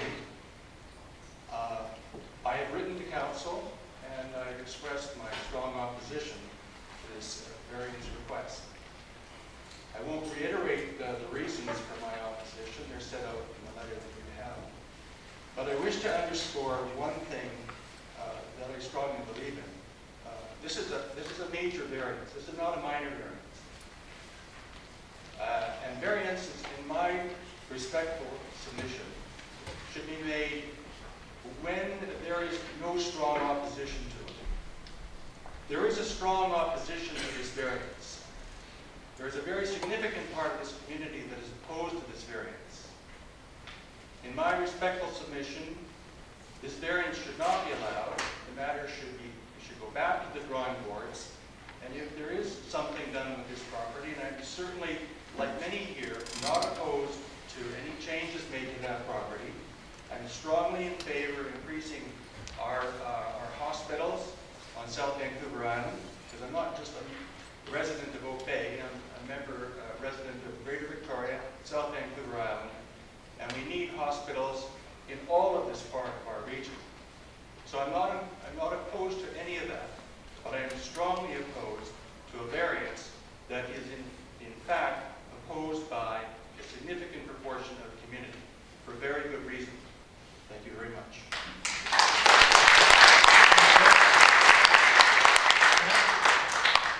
Thank you, Mayor and Council. My name is Leona Fournette, and as you know, I'm a 30-year resident of Oak Bay Hill, or um, Hampshire Hill and Oak Bay.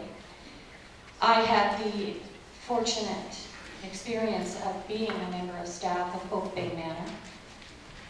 It funded much of my university uh, studies. The people there have touched me in ways that I can never share with the broader public because working in a care facility is indeed an intimate relationship with someone who you are charged to care for.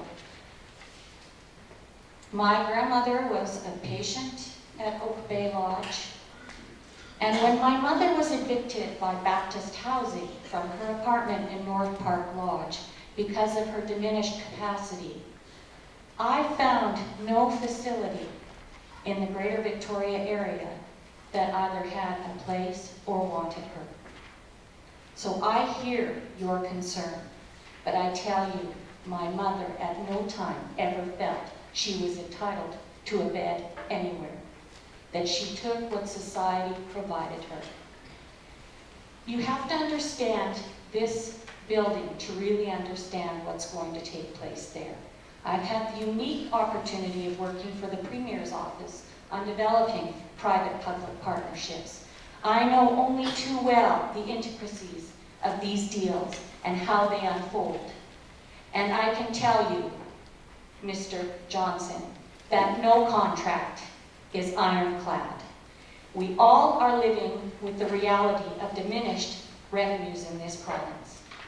And the province and the federal government are constantly ratcheting down on transfer payments to public facilities.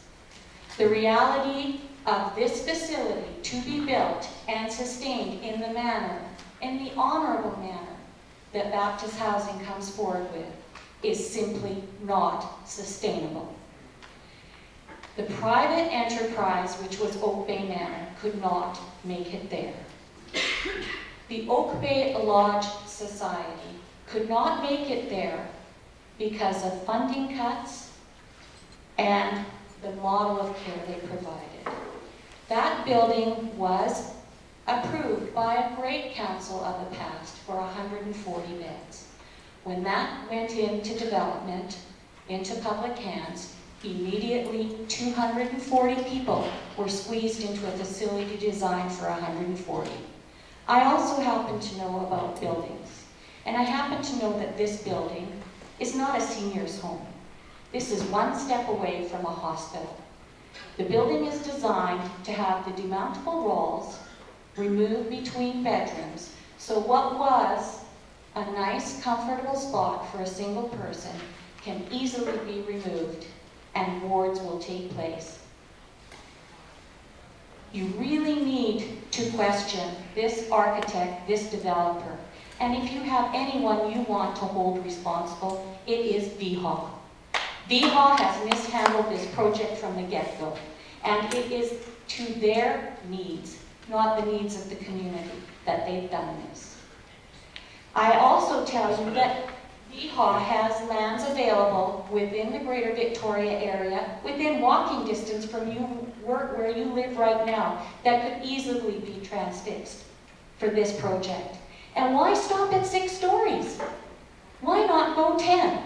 Because those properties there can take it. I suggest that this is a bad deal for you, and it's a bad deal for Oak Bay. Thank you.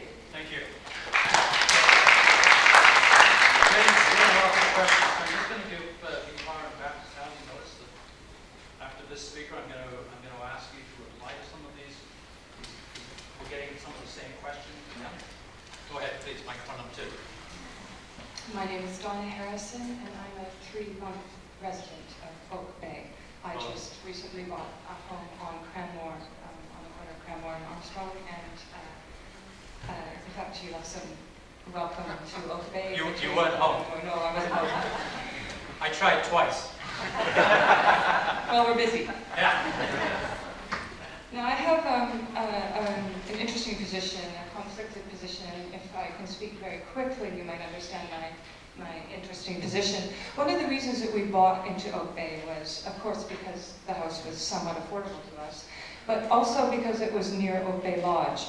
My mom is a nine-year resident of the Oak Bay Day Program. Initially, of course, very uh, moderate resident, and now, of course, she's quite demented, and she needs um, quite a bit of support to get back and forth to Oak Bay. So much support, in fact, that she can no longer take the bus that Oak Bay goes around and picks up because she gets confused waiting at the gate and she goes back into the house and then they're not there, she's not there when they arrive, et cetera, et cetera. So one of the benefits of living uh, close to Oak Bay Lodge was in fact that we can take my mom by wheelchair back and forth. Um, the care workers that come can pick her up or take her and I pick her up or, take her, vice versa. So I'm in a conflicted position. Uh, Oak Bay Lodge has been, um, and the Oak Bay Lodge Day program has been of extreme importance to my mother's ability to remain in the home and, according to her doctor, to even remain alive. She is very demented at this point. Now, having given that background, um, I have a few questions. I'm opposed to the variants being go going through at this moment because I feel also uninformed and rushed. I feel it's an interesting position. Many people have responded that they're nervous. I am too. I feel on the defensive for something that I would have preferred to have been consulted with in a different format, in a different manner earlier. And in fact, right now, I feel like I'm trying to prevent something that I don't really understand. And that's a bad position. Now, on the question of funding, it says on the Baptist Housing website that $40 million is provided by the province. And I want to know if that $40 million is in addition to the 80 million that's being thrown around, or if it is part of the 80 million. It would be ironic indeed, for example, if we are being rushed through because this is half funded by public money anyway, if you understand. It's our money anyway, right? So I would like that point to be clarified. Also around the, uh, the arguments of funding, um, I thought it was interesting, my first, of course, council meeting was last week's as well. It was interesting that um, the, uh, the mayor uh, talked with Baptist Housing and, and just said, well, are you in danger, do you need time, etc. And Baptist Housing was asked to, to answer, but no evidence was given as to what a letter, for example, produced by the lender saying that this, that, or the other. We only have the word of the applicant, and I think that is slightly um, questionable, or it's not good practice. So, I have more points. 30 seconds. Four points, 30 seconds. Can you make? The day program.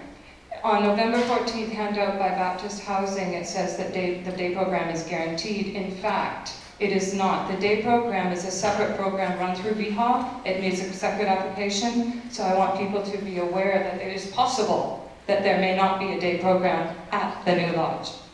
The way to uh, get in the time with the questions is to pinpoint the question. I have my numbers here, but they're so long, I'm trying I to know. them. So will daycare be still in existence? Okay. What's your next question? So I do have, can I keep- keep going? What do you say? Well, I, just, I'm trying to help you. You're a new You're resident. I just, I just, because you're out of time, I either keep it till later for one minute and put them into questions, but I'd rather you do them now, so I get these questions asked, answered. So if you could just give me the three questions you've got. Okay. An independent planner or engineer that has not been hired by the applicant would be appreciated. I want to know why that is, and if we can have time to do that, I would really appreciate that.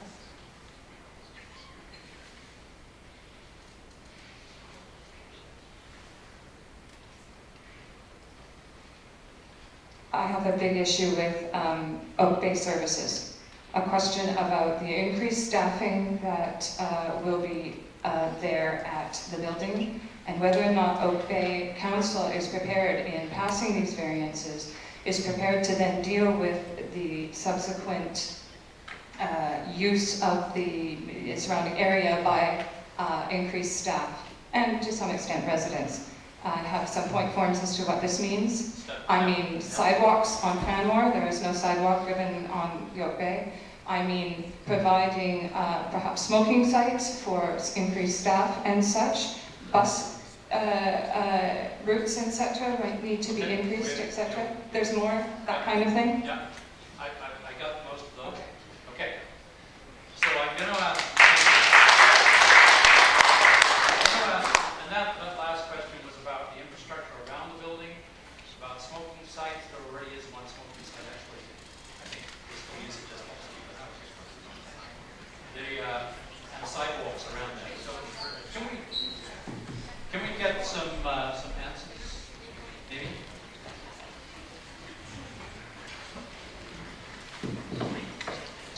Your worship, can I just ask for clarification? Um, a- After we answer these questions, is there intended to be another round of comments? I'm, I'm going to give everyone one minute afterwards who wants to ask a question, but, but is not, is not followed up. I don't want to, I don't want to start repeating ourselves, that's why I think it's a good idea to do some answers to these questions. In the, in, after you've spoken, I was going to give everyone who wants to ask a one-minute question that hasn't been answered a chance to do it. I would imagine most, the last four speakers have got into some questions that have already been asked already.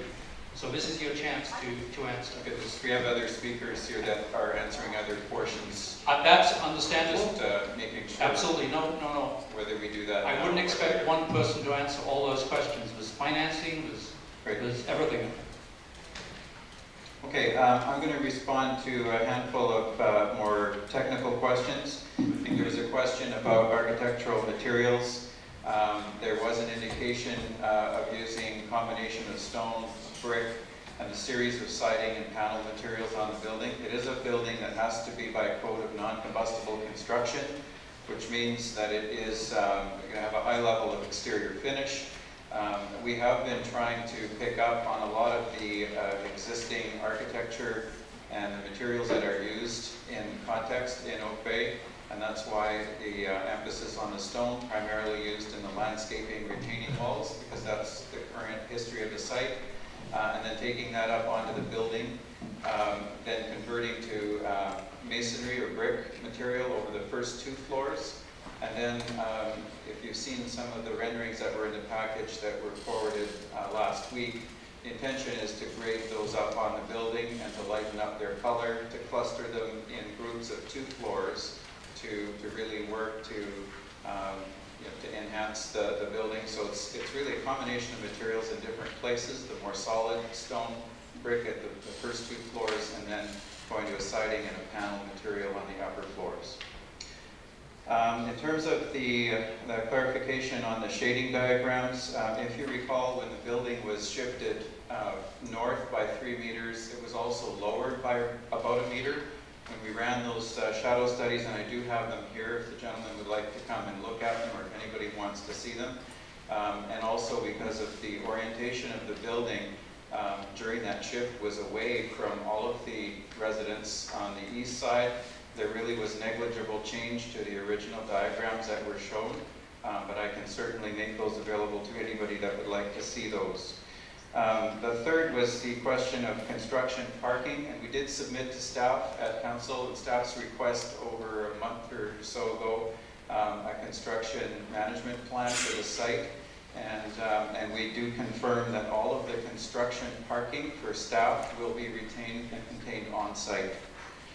The uh, traffic and parking study, there was some questions about that. Um, uh, the, I guess the primary one was a question regarding mode shift. And our traffic consultant did look at that. What that means is um, if you take, for instance, primarily traffic uh, and parking is generated by employee demand, not by resident, because most of these, well, all of these residents do not drive.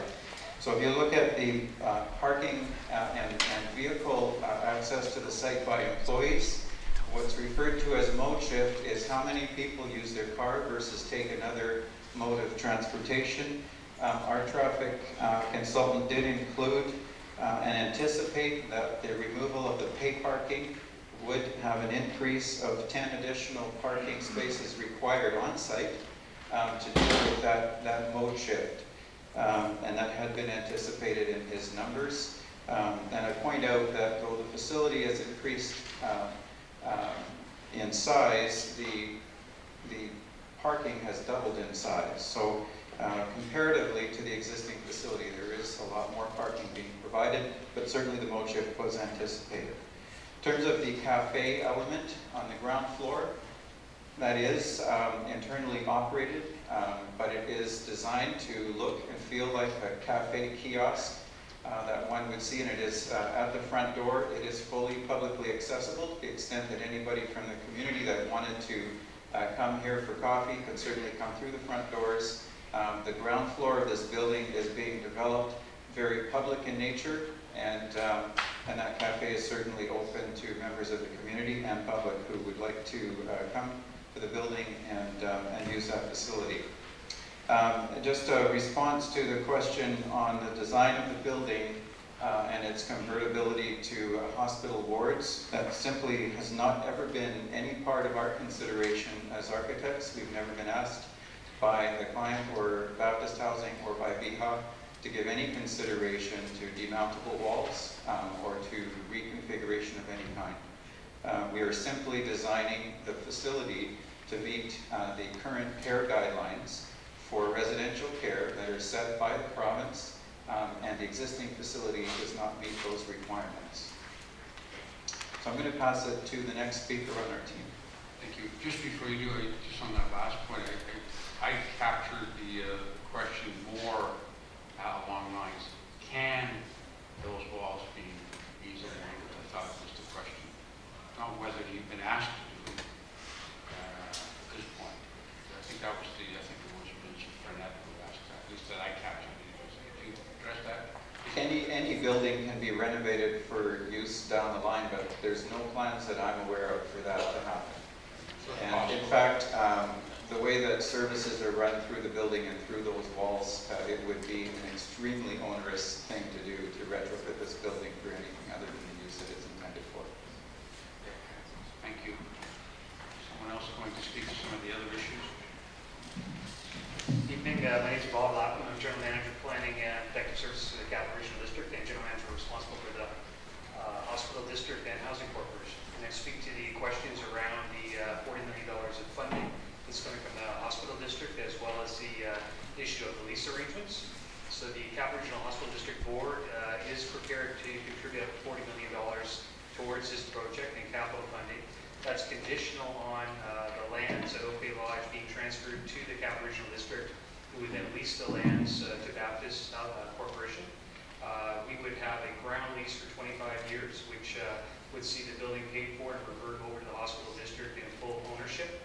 Uh, we would then, the board would decide whether they want to redeploy that building in the long term uh, to continue using that building for uh, residential care purposes uh, in conjunction with uh, in terms of our health capital partnership. Uh, in addition to that, we have uh, conditions on the arrangement for the operating agreement that would see the building uh, required to be a hospital facility for this purpose over its life. That would also ensure that the operator met those terms and conditions and BHA continued to fund the per diem rates to maintain this in the public sector uh, during ownership. So the, uh, the value and contribution of the hospital district is to both secure the land, uh, to secure the long-term use of the building, as well as secure uh, control of the local community of the asset over the building life expectancy. So those are the issues of the hospital district. Uh, in terms of the... Uh, So before you leave that though, I think the question was more, is the 40, doll- 40 million in addition to the 80 million, or is it part of the 80 million? I thought I took the important question. The 40 million is uh, uh, the uh, equity contribution in terms of cash equity in addition to the land value. And in addition to that, there'd be another 80 million or 73 million dollars of financing uh, that is uh, embedded in the operating agreement and per diem. So the the total uh, value of the combined deal between the Mount View project and the Oak Bay Lodge project is in the excess of 140 million. So, Mr. Lapham, most people don't know about the Mount View. So could you just speak to that? Sure. The hospital district uh, owns a site at Mount View that was uh, recently rezoned in the district of Saanich uh, to build a six-story residential care building, uh, 260 units, in addition to seven other sites uh, for supportive housing for the homeless, uh, a seniors project, a housing corporation project, and several other projects as a, as a campus of care. And that project is part of this arrangement whereby the funding has been secured to build that building as well as to build this building, uh, with the hospital district providing the 40 million as the equity contribution. The balance is financed and funded by the uh, uh, hospital, by the uh, And uh, the whole proposal was based on a request for proposals submitted by, uh, competitively by the uh, Baptist to uh, BHA. Okay. Thank you, Mr. Lapham. Next, uh, responses? Could I just ask a follow-up question? Sure, please do. There, It, it has to do with the money. It of that question, uh, guy's name, fellow lives in Stewart Stark's house or something. Chestnut. Mr. Chestnut. Mr. Chestnut, uh, the point was, and I don't, I don't know if you can uh, address it, but it wasn't specifically a question, but uh, if it's going to, if you lose this funding, the heard, when you build elsewhere, where is that new funding going to come from? I think was this question embedded in the statement. Well, this particular proposal is based on a request for proposals, a competitive process where uh, Baptist submitted their proposal, and the proposal was to replace certain facilities and add new beds. Uh, In terms of this arrangement, uh, as I mentioned, the hospital district uh, is securing its return on its $40 million by seeing the Oak Bay Lodge site transferred into into the hospital district hands. Uh, So if if this uh, project is relocated, that entire arrangement would have to be renegotiated, and the hospital district would have to reconsider its contribution. Uh, In addition to that, uh, the structuring of the new facility would have to be looked at completely uh, differently in terms of a a likely competitive process. Okay, next responses? How's this? That's good. I'm going to try and cover. a Could bit- you s- just say who you are and what your responsibilities are? Ben Brook, uh, Chief Project Officer of the Vancouver Island Health Authority. I'm going to try and address some of the care issues, though that isn't my primary level of expertise, but put something in a regional context on it. So most recently, I was involved in the patient care center project. Speak into the mic, please. Okay. Crank it up. A little closer, just- just-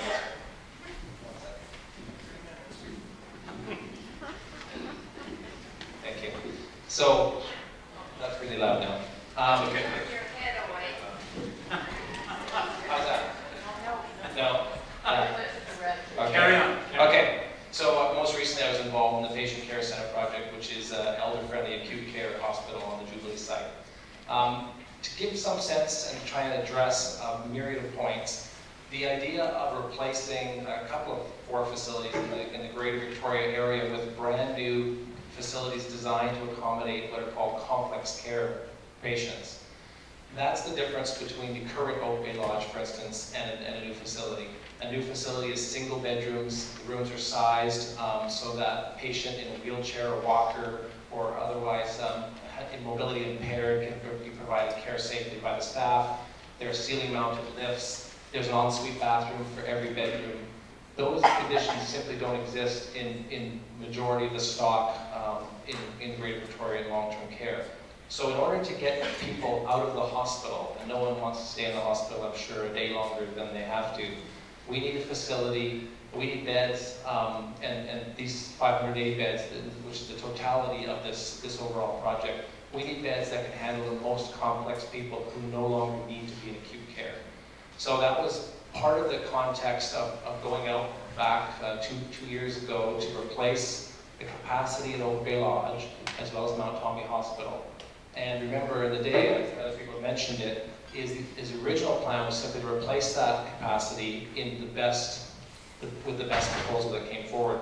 There was no necessity in that RFP to build in Oak Bay, to build in Saanich. It was simply the best possible deal um, uh, as proposed under the proposal process. We uh, listened to uh, many of the folks in Oak Bay, and there was a, a groundswell of support to keep the land in public uh, ownership, and I think that's been achieved under this proposal with the, the structure that Bob just spoke about, with having the RHD purchase the land, and in return for a, a myriad of things, but including the $40 million contribution. That contribution makes this uh, cost, the annual cost, much lower because there's less financing to go get for the balance of the project. Um, so that proposal that came in addresses the concerns that were addressed, that were raised a couple years ago. Keeps the, the land in public uh, ownership. It keeps the bed count in Oak Bay, which wasn't the case for all the proposals. And in fact, in this case, increases the bed count by, um, I think, 40 or so beds above the current capacity at Oak Bay. And creates complex care capable bedrooms, single bedrooms, um, where those people can have patient or privacy and dignity and be cared for in a safe way by our staff. And that's, that's the reason Oak Bay Lodge needs to be replaced. It isn't that it's simply old, it's because the doorways aren't big enough for the full complex um, needs of patients. It lacks ceiling mounted lifts in many rooms. It lacks single bedrooms with bathrooms so that people have, are free from, you know, uh, facility acquired infections. So that's a little bit of the background. Um, the choice of 320 beds uh, is to meet what everyone's recognized is a, is a growing need for complex care. The idea here is to take an existing site that's zoned, and back in May, when the, when the documentation was submitted to city staff, um, it was seen as a, a, a, as a, you know, a necessary step, obviously, to get some variances to existing zoning to accommodate a modern, modern building. Um, so we've been working on this project now for a couple of years. It's immensely complex with the RHD, VIHA, Baptist Housing. We've been to the province several times to talk about um, funding and, and, and access to capital and those sorts of things.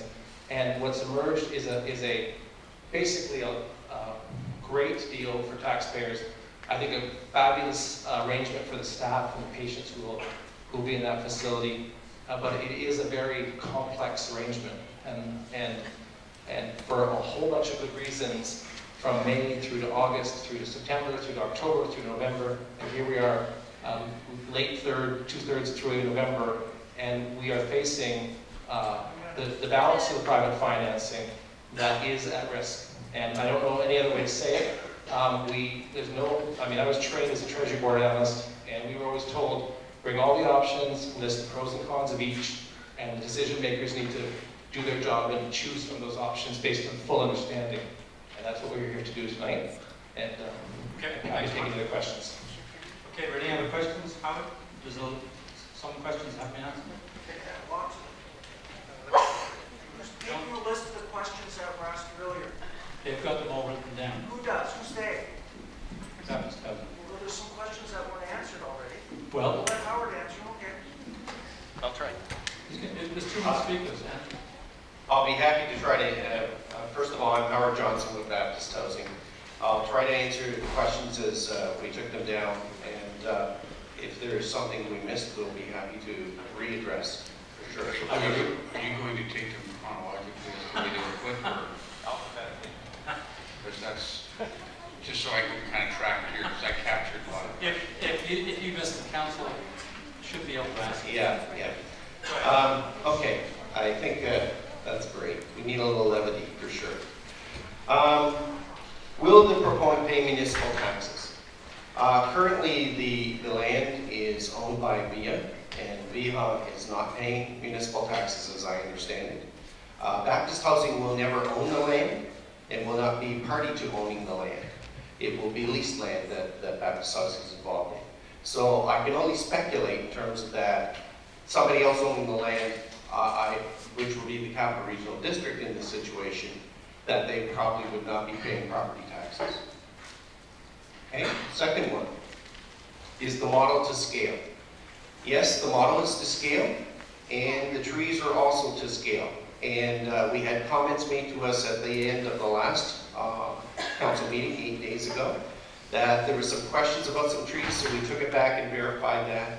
And we try to provide photos around. Appreciate they are still photos, and you can move one angle to another. But they try to be as representative to also help the viewer to be able to see that, in fact, the trees were to scale. Um, have you reviewed the state of the building and considered repairs? Yes, an extensive engineering study was done, um, and that was prior to um, uh, what was approximately, I, am going to say, fall of uh, 2009. And uh, VIHA offered to take anyone interested in the RFP process through the building. And we took through all of our engineers uh, to look at the state of the building because we wanted to consider whether or not it would be feasible and an option to keep the building in its condition and just simply modify it. And it was from that, from our perspective, in terms of our engineers that did a, a review, that the, the building was not feasible to be retained and to be uh, kept. And that involved much more than just what appears to be. It, it dealt with all the electrical components, the plumbing components, it dealt with the structural components, it dealt with the seismic issues. And so it was a very comprehensive review. And uh, I did hear some speaker indicate that they heard that something was falling off the building, but they weren't aware of it. If you go to the one side of the building, actually, there's still steel plates put on the side of the building trying to hold the brick up. So you can actually visibly see that there is some issues in terms of the structure. Um, what considerations have been given to blasting? Um, with this last uh, model that we've showed, shown you, uh, it does pull and rotate the building around and it pulls it off of the, the knoll a little more. The, there was only a portion of the, the building that needed to be blasted where the building is now going in terms of its, its existing location. Um, today, blasting is, is, is miles ahead of what it was before. And I know I would be liable if we did blasting on the site and it damaged anybody's house, even cracking their house. And so there's an extensive process in terms of when one undertakes any blasting in terms of uh, verifying uh, in the neighborhood what conditions of the house is in. And we do that in a very consultative fashion in terms of inviting, involving going inside, looking inside, outside, taking photos and, and so forth, working directly with the neighbors. And we went through that process also in terms of when we built uh, our Shannon Oaks location. It wasn't blasting, but it was piling in a, in a somewhat similar effect. So blasting has been considered, considered and it's being kept to a minimum. Um, I don't think the question was answered in terms of length of time of the build. Um, and there's two components to this. One is the health authority needs to give a response to the, uh, the residents in the Bay Lodge, and that's a 365-day notice period. It's anticipated within that period people will move and transfer. And part of that transition, which is another question, um, the transition is the responsibility of Vancouver Island Health Authority. It doesn't become our operation until we open a new building. So Vancouver Island Health Authority will continue to, to operate, but they will be relocating uh, the residents for that period of time. And uh, that will start once they, they have given that notice, they will start that, that process. But I'm not able to answer more details than, than that because I'm not privy to their plan. Okay? Um, so to then conclude in terms of the, the length of time to build, the actual construction period is a two and a half year construction from start to finish. Okay, some other questions that weren't answered. Um, daycare. So what Howard Waldner said at a previous meeting, to repeat that, was that the funding dollars allocated to daycare would stay in, in the project and he would hope that he would be able to negotiate successfully with Baptist Housing that actually would be accomplished within the, in the site. And so that is our intent. So it is a proposal, but it is not a concluded proposal at this point in time. And uh, because of the way the building was structured onto the knoll, there was opportunity to actually provide that adult daycare portion of it. And so we have been working in terms of putting that together and identifying that cost for, for VIHA.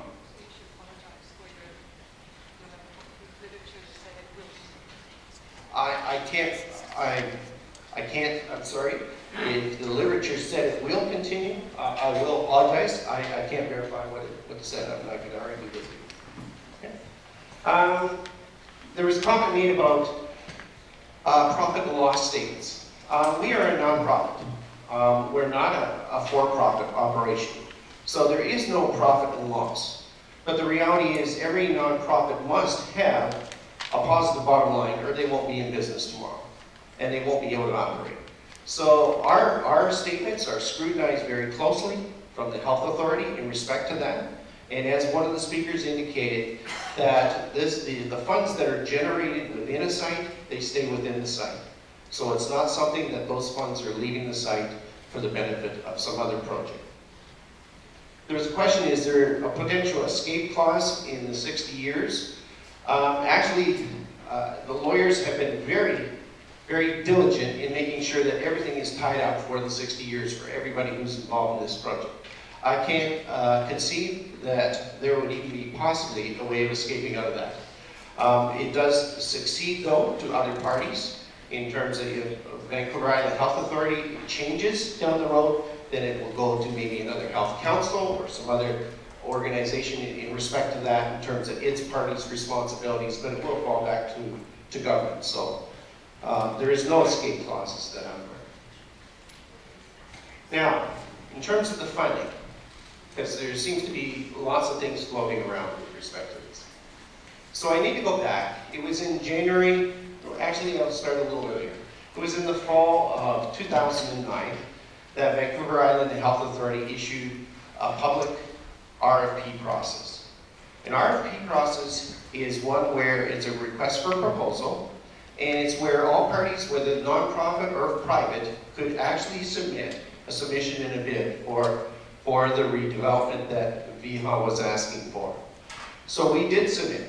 And in submitting, in, in January, February of 2010, we needed to be able to put a package together that was convincing that we could complete the deal. In completing the deal, we then put in and submitted our funding and what that would be and what it looked like. We were able to secure a very unique financing arrangement and we received financing term sheet in respect to that. Yes, it is a pension fund that we're working on. The uniqueness, though, is what you need to understand in terms of the, the funding arrangement. The funding arrangement is different than a conventional mortgage, which usually has a term of five or 10 years, and it has an amortization of 25 or 30 years roughly. The uniqueness of this is that the term of the financing is for 25 years, which is also the same as the amortization period. So what we are doing is we're fixing the interest rate for 25 years with this project. And that's very unique. And there isn't a lot of opportunity to be able to do that out there in the marketplace, and especially with the size of these dollars. In order to do that, though, we have to draw down or take all the money before the project actually starts. That way they can set the interest rate at that date. So it goes into a bank account for and held in trust by a lawyer. And then as we do construction, there's draws made from that. But already the interest payments are accruing from that date. Actually, the money is drawn down. So that's what's unique about it. And so the lender actually, because we put the proposal together and put it forward and we had term sheets, we had to guarantee we could deliver, and the lender had to guarantee to us that they could deliver us the funding. So in the early, uh, beginning of January, February 2010, they set aside the $80 million. The pension fund set it aside for this project because we were named the preferred proponent. So in setting it aside, they've also indicated to us that we must draw those monies down, or they must, we must conclude the deal by December 31st, 2011. Otherwise, the funds will go away. And they cannot hold the funds in a period longer than that, is what they've indicated to me. So that's why we're in a dilemma in terms of we do have concerns about losing the funding because it is very unique funding arrangement. And that was partly what made us successful in the proposal. Because many proposals, because we've done many of them before, when you're putting financing together, you, as I say, you can only get uh, financing terms that usually are conventional, where it might be five or 10 years, where you know what your interest rate is going to be. I think I'm going to cut you off. Well, I think, that, I think that was the end of my answering the questions, unless I missed something. Councillor, Councillor May, you have a question? Mr. Johnson, I was wondering if you could answer um, this question. I'm a little bit confused about uh, the, the business plan and the rationale for the number of beds. So what I'm looking at here is the submission you made to council after the public consultation. And you indicate there on page three to four that that you had indicated to the people who attended that consultation meeting that there was no flexibility to reduce the number of beds on the Oak Bay site because because Howard Waldner indicated that that was not acceptable to VIHA. So the question I have for you is that I've understood that the 320 beds was because it's, it's an efficiencies issue, that there's a, there's a business plan and that you need that many beds so that you can run the facility in a cost-effective manner. So I'm, I'm just trying to understand where does that, is the number coming because that's what you need to do to make the business work? Or is the number coming from, as you said in your report, something that was dictated by or suggested by Howard Waldner? So I think you've got pieces of information, so let me try to clarify that for you. In the RFP, we were called to, to submit a bid that replaced 320 beds. So that came from VIHA in terms of that request to replace those beds. So we wrote our proposal, just like any other person who would write a proposal, was to meet the needs of the health authority. Otherwise, you wouldn't be considered. Your proposal, if it falls less than that, uh, they're going to consider somebody who meets their needs. So what we're trying to say in there is that we wrote our proposal. It was our proposal, and we wrote it as 320. And so we, we met the obligations of what the RFP asked for. In doing so, though, I can tell you that, and this is where the answer gets a little mixed, is that the 320 is uh, an economical size that gives us the best cost economically. And that that became a factor in terms of, I believe, us winning the RFP. Can I, I mean, when you say it's the best cost, I mean, we haven't been able to see your business plan. Correct. Yes, I understand And, that. and we won't be able to, so we have to take, I, I'm not questioning your integrity in any way, that's not what I'm doing. It's just that, as a decision maker on behalf of our community, I'm having to take at face value that there's some cost benefit here for you, but I don't know what your margins are, and I don't know what's there on your business plan to account for that. So, how, how, how, what would you do if you were me here? I, I mean, how do I make that decision around the legitimacy of your business plan here? Because it's related to the massing. The number of beds has to do with the massing, which seems to be a big issue for the people who've come here tonight. Yeah, well, if, if we weren't able to deliver the best cost, we would not have won the RFP. It's as simple as that. Because the health authority is charged with the responsibility of achieving the most out of the RFP process from the number of beds to be rebuilt at the lowest cost possible. And so we were chosen as a proponent. So it's not a matter of margins. I don't have margins. I, the only thing that's in there is what I must meet from a financial funding perspective. In terms of when you talk about margins from a business perspective, um, that's getting into the terms that are required in terms of the financing. So in terms of the financing, yes, I must meet a certain debt service coverage ratio, which is a very low ratio. But that, that's not a, a margin in terms of our business plan. So it's a matter of us looking at the whole cost, both from an operational point of view, staffing perspective, the size of units, the size of the building, as well as the financial piece, and putting it together, that created the financial model. And so that financial model was what we submitted to VIHA, and it was the lowest, I believe, uh, model. So, Mr. Mr. Johnson, you've, you've covered a lot of stuff here. Is there any more questions from your team that have not been covered? I think we've covered the questions, um, unless... Okay, so I'm... I, I captured some of it. Okay, so... So Yeah, maybe I didn't get it in your order exactly. Okay, I'll, I'll work down. Councillor Braithwaite and Councillor Jensen. I, I was just hoping you could um, address uh, a comment that someone made about um, LARC and them being approached. I, I just want to hear from you that if they were part of your organization or not. Okay, Lark, um, LARC is a developer, and uh, at the time of when we were putting the RFP together, we were in discussions with Lark to be our developer, and I expected they would be. Uh, LARC understanding that the need was to rebuild uh, Oak Bay and that it would probably be preferable and make a good plan to actually rebuild it in Oak Bay at the Oak Bay site.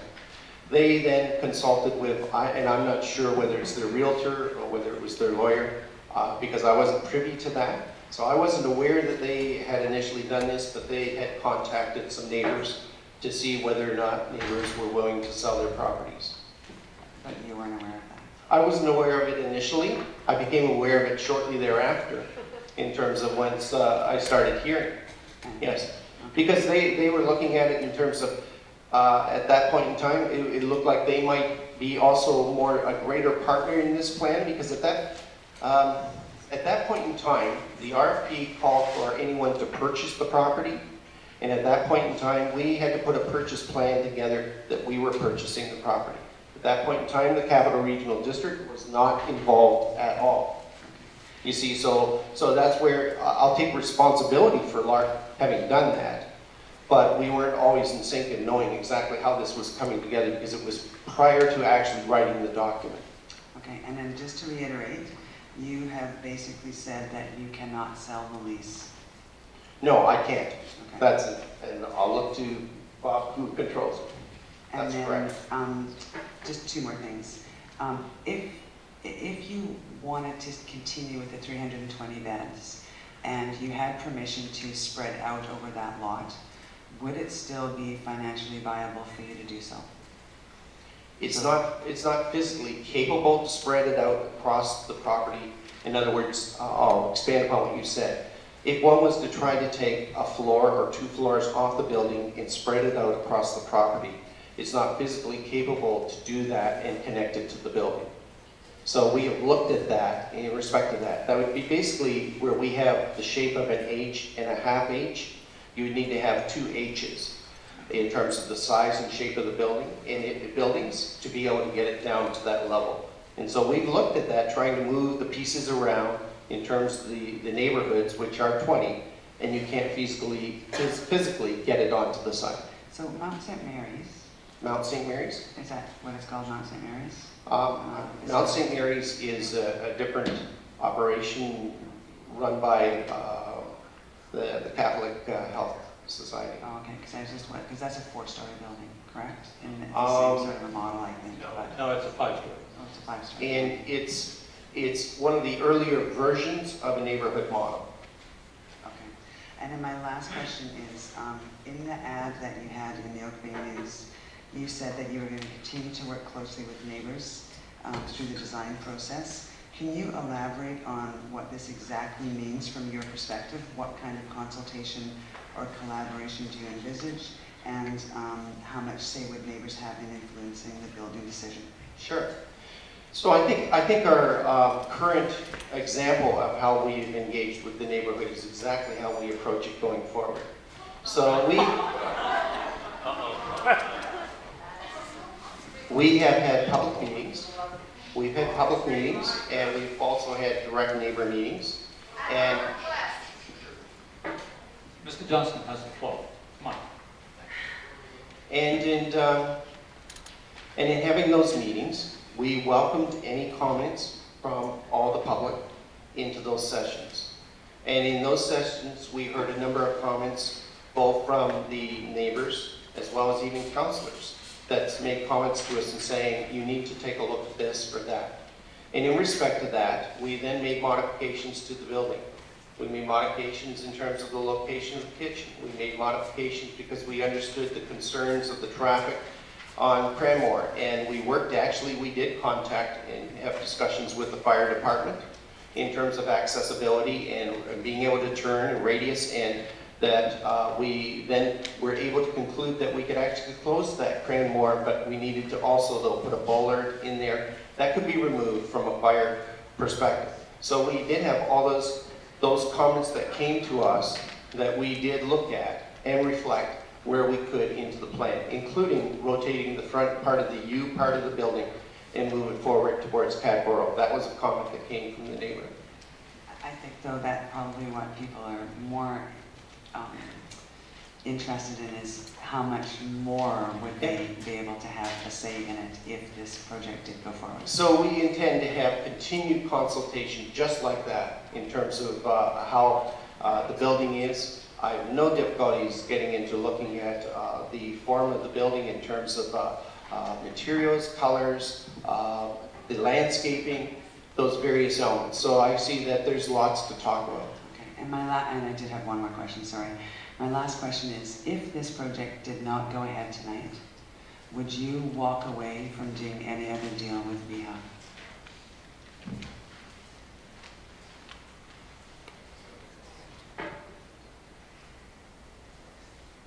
Well, here's the statement that I had written for tonight. Uh, I guess I'll give it now. I wasn't sure whether it's now or it's in a moment. And I, I respect the fact that these are very serious decisions that you're having to make. But obviously, from my perspective, tonight council has the opportunity to approve, approve the requested variances and thus guarantee 320 residential care beds will remain in Bay. If, however, it is not approved, then council will be sending a message to my lender that Oak Bay does not want the proposed redevelopment, and the funds that they must place in 2011 by December 31st will be gone. Oak Bay has many seniors that are relying on the bed staying in Oak Bay. And in fact, I know 280 of those, particularly seniors, live at Marion Gardens in Shannon Oaks. And they want to know that there will be care beds in Oak Bay. Furthermore, to expand upon your question, VIHA has already discussed VIHA has already discussed with Baptist Housing as a result of some of these discussions the possibility, if needed, to relocate these beds elsewhere in the Capital Regional District to a site that is already properly zoned for care beds. And so that's the direction it's been taken. Okay, you asked a question, you got the answer. Not everyone's going to like the answer. Councillor Jensen. I, I captured a few questions here and, and, uh, and embedded some direct questions and some em embedded questions or implied questions. So, uh, Mr. Taylor, I think, asked one of the first ones is uh, to confirm the first available bed policy, what it is and what it means. This is a, a VIHA policy, um, and uh, since I'm standing here, I'll attempt to answer it because I am a provider, so I should know what it is. And uh, if I uh, need to be corrected, I'm certainly open to really correcting me. A first bed policy is, is a method where once a senior has been assessed as needing residential care, they then indicate to the assessor what their first and second choice of location of what facility they would like to go to. And then as uh, their name goes closer to the top of the list of being called as to when beds are available, they will receive a call and they'll be, it'll be indicated to them at that time whether or not their first choice is available or not. And that's when the, the, the individual will make a choice in terms of if it's their first choice, obviously that's a no-brainer.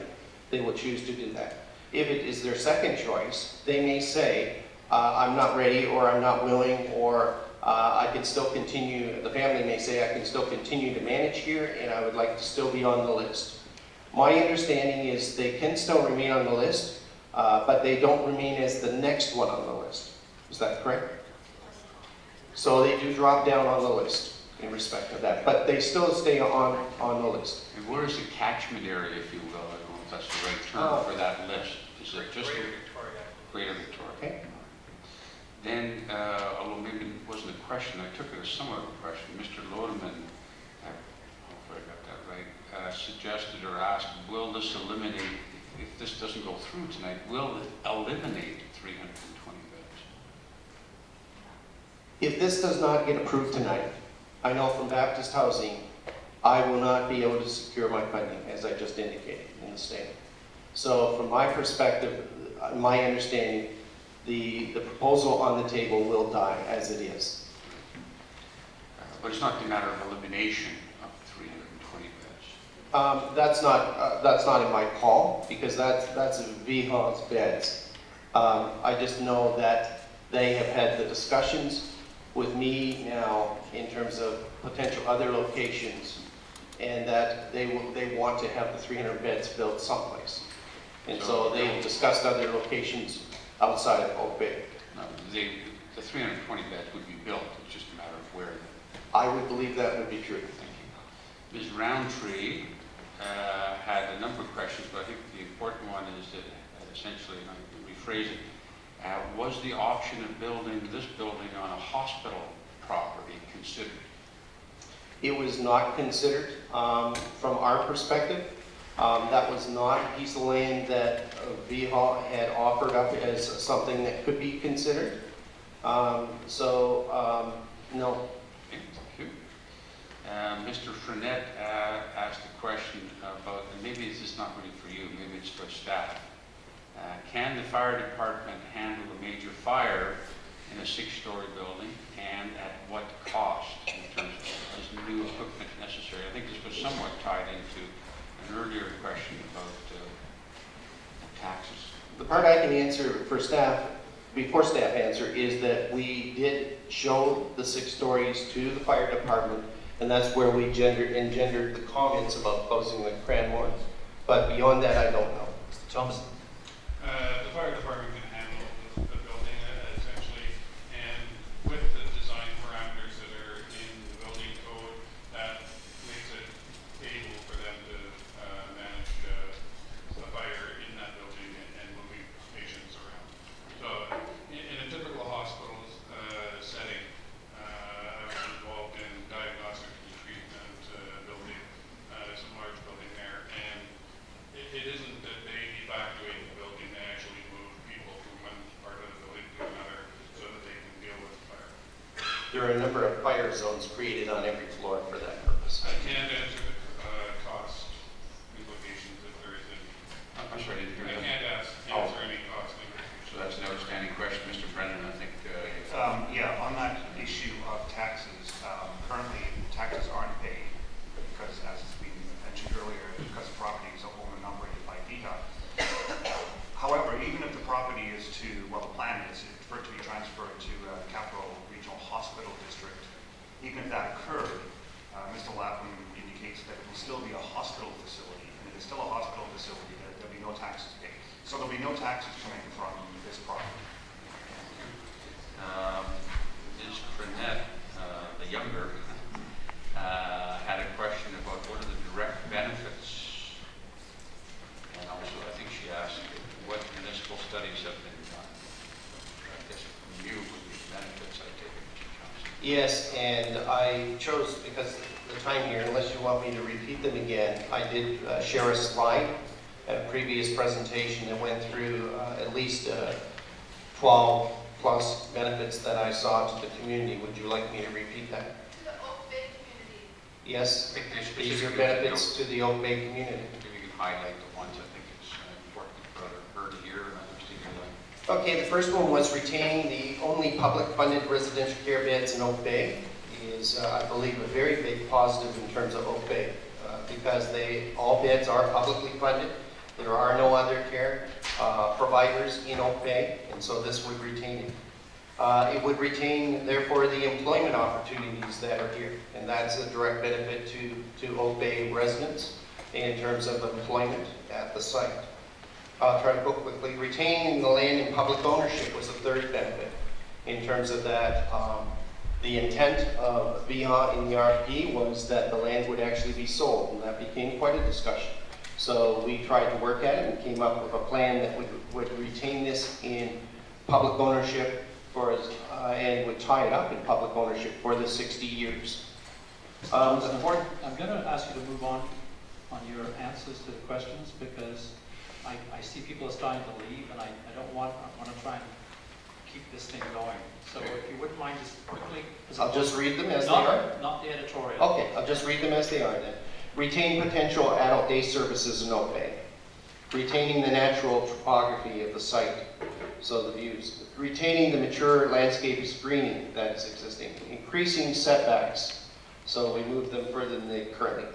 Removing the need for on-street parking is a direct benefit. Removing the second entrance on Cranmore is a benefit. Improving the safety of Cranmore. Um, The fact that this is a unique public nonprofit partnership versus a private operation.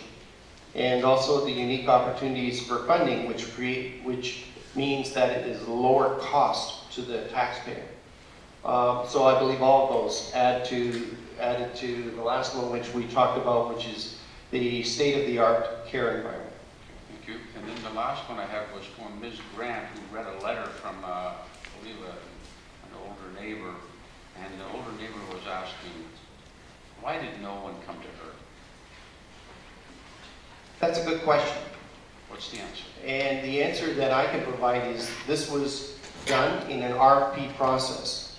I had to compete for um, doing this project just like any other person out there publicly. So there were private people, I was aware of two others that were competing against me for this. And so unfortunately, because of the RFP process, there wasn't able to engage the public back in, uh, say, the beginning of when we started to put a proposal together. That would have then immediately uh, made all that information available to somebody who was privately bidding against me for the proposal, what my plan was in terms of uh, the replacement. So the RFP process has caused uh, undoubtedly a lot of difficulty in terms of the consultation. What I hear you say then really is, was the responsibility of VIHA to do the consulting with the neighbors? Is that what you're saying essentially? Um, I wasn't saying that, but I would say any communication throughout that period would have been VIHA's responsibility as to how much they would say or could say. But again, I know that they were bound by an RFP process as to how much they could say uh, without uh, trying to find themselves in a legal difficulty of leading information that uh, didn't make it a fair process for everybody who was making a bid. So in other words, what I'm saying by that is, if they had come out after, three months after the RFP process and made a public statement and did something that was contrary or new information to the RFP, then those that were putting RFPs together would have a case in terms of saying, listen, you've just changed the playing field in terms of us putting an RFP together. So a bit of a catch-22 in respect. Thank you. Thank you. I have a question from uh, Councillor Lewis. Uh, Mr. Johnson, Mr. Johnson, you have told us numerous times that you will uh, continue to work with the neighbors, and I'm I'm sure you will. One of the concerns that I have is that in, in trying to accommodate the setback on Hampshire, which you did at our request, you, the building is too close to Cadboro Bay Road, in my opinion, and many of the trees are going to be lost. Now, I understand you have not yet done the final, I don't know how you describe it, the, the detailed planning of the building. I think that's what you said. I think that is yet to be done. Is that correct? The detail is not complete. However, based on the answer that staff gave us at the meeting, council meeting, uh, this submission is based on what you have in front of you, Yeah. and that the variances are based on what's in front of you. If My we, if we, I'm sorry. My understanding from the mayor, I always believe the mayor, Okay. is that if we were to approve tonight a, a variance at the front of a certain amount, the variance from Cadboro Bay Road, if your detailed planning came in with a lesser variance, that that would generally be acceptable. Is that what you said, Mr. Mayor?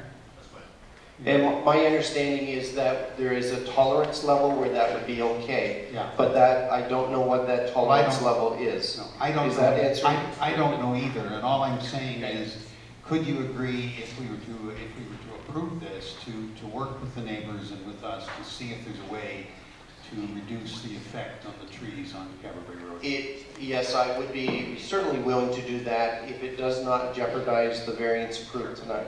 Absolutely. The tolerance level is not to increase it. The tolerance level is to reduce it. Um, I understand that. Uh, I, I may have misunderstood what staff said that evening. So to be very clear, if we can, uh, if this is approved tonight and in working with the neighbors, I'd be happy to, to look at how we could compress things, if that was possible, to remove it further away from Cadboro Bay, which I think is what uh, Councilor Herbert is asking. Okay.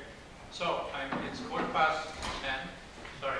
It's Quarter past 10, I think, there's no one else on the team who's going to stand up? No. Okay, there's one gentleman I don't recognize at all, so. Um, this is, uh, um, this is Stuart, uh, sorry, Stuart, your last name? Murin, and he is, uh, the communications VP for VIHA. Okay, okay. Okay, um, so I'm going to, uh, I'm, I'm going to. He's just new in his position, just to Okay. give him a little grace. I'm, I'm going to ask if anyone would like to uh, take one minute to, uh, and I'm going to stick to that one minute,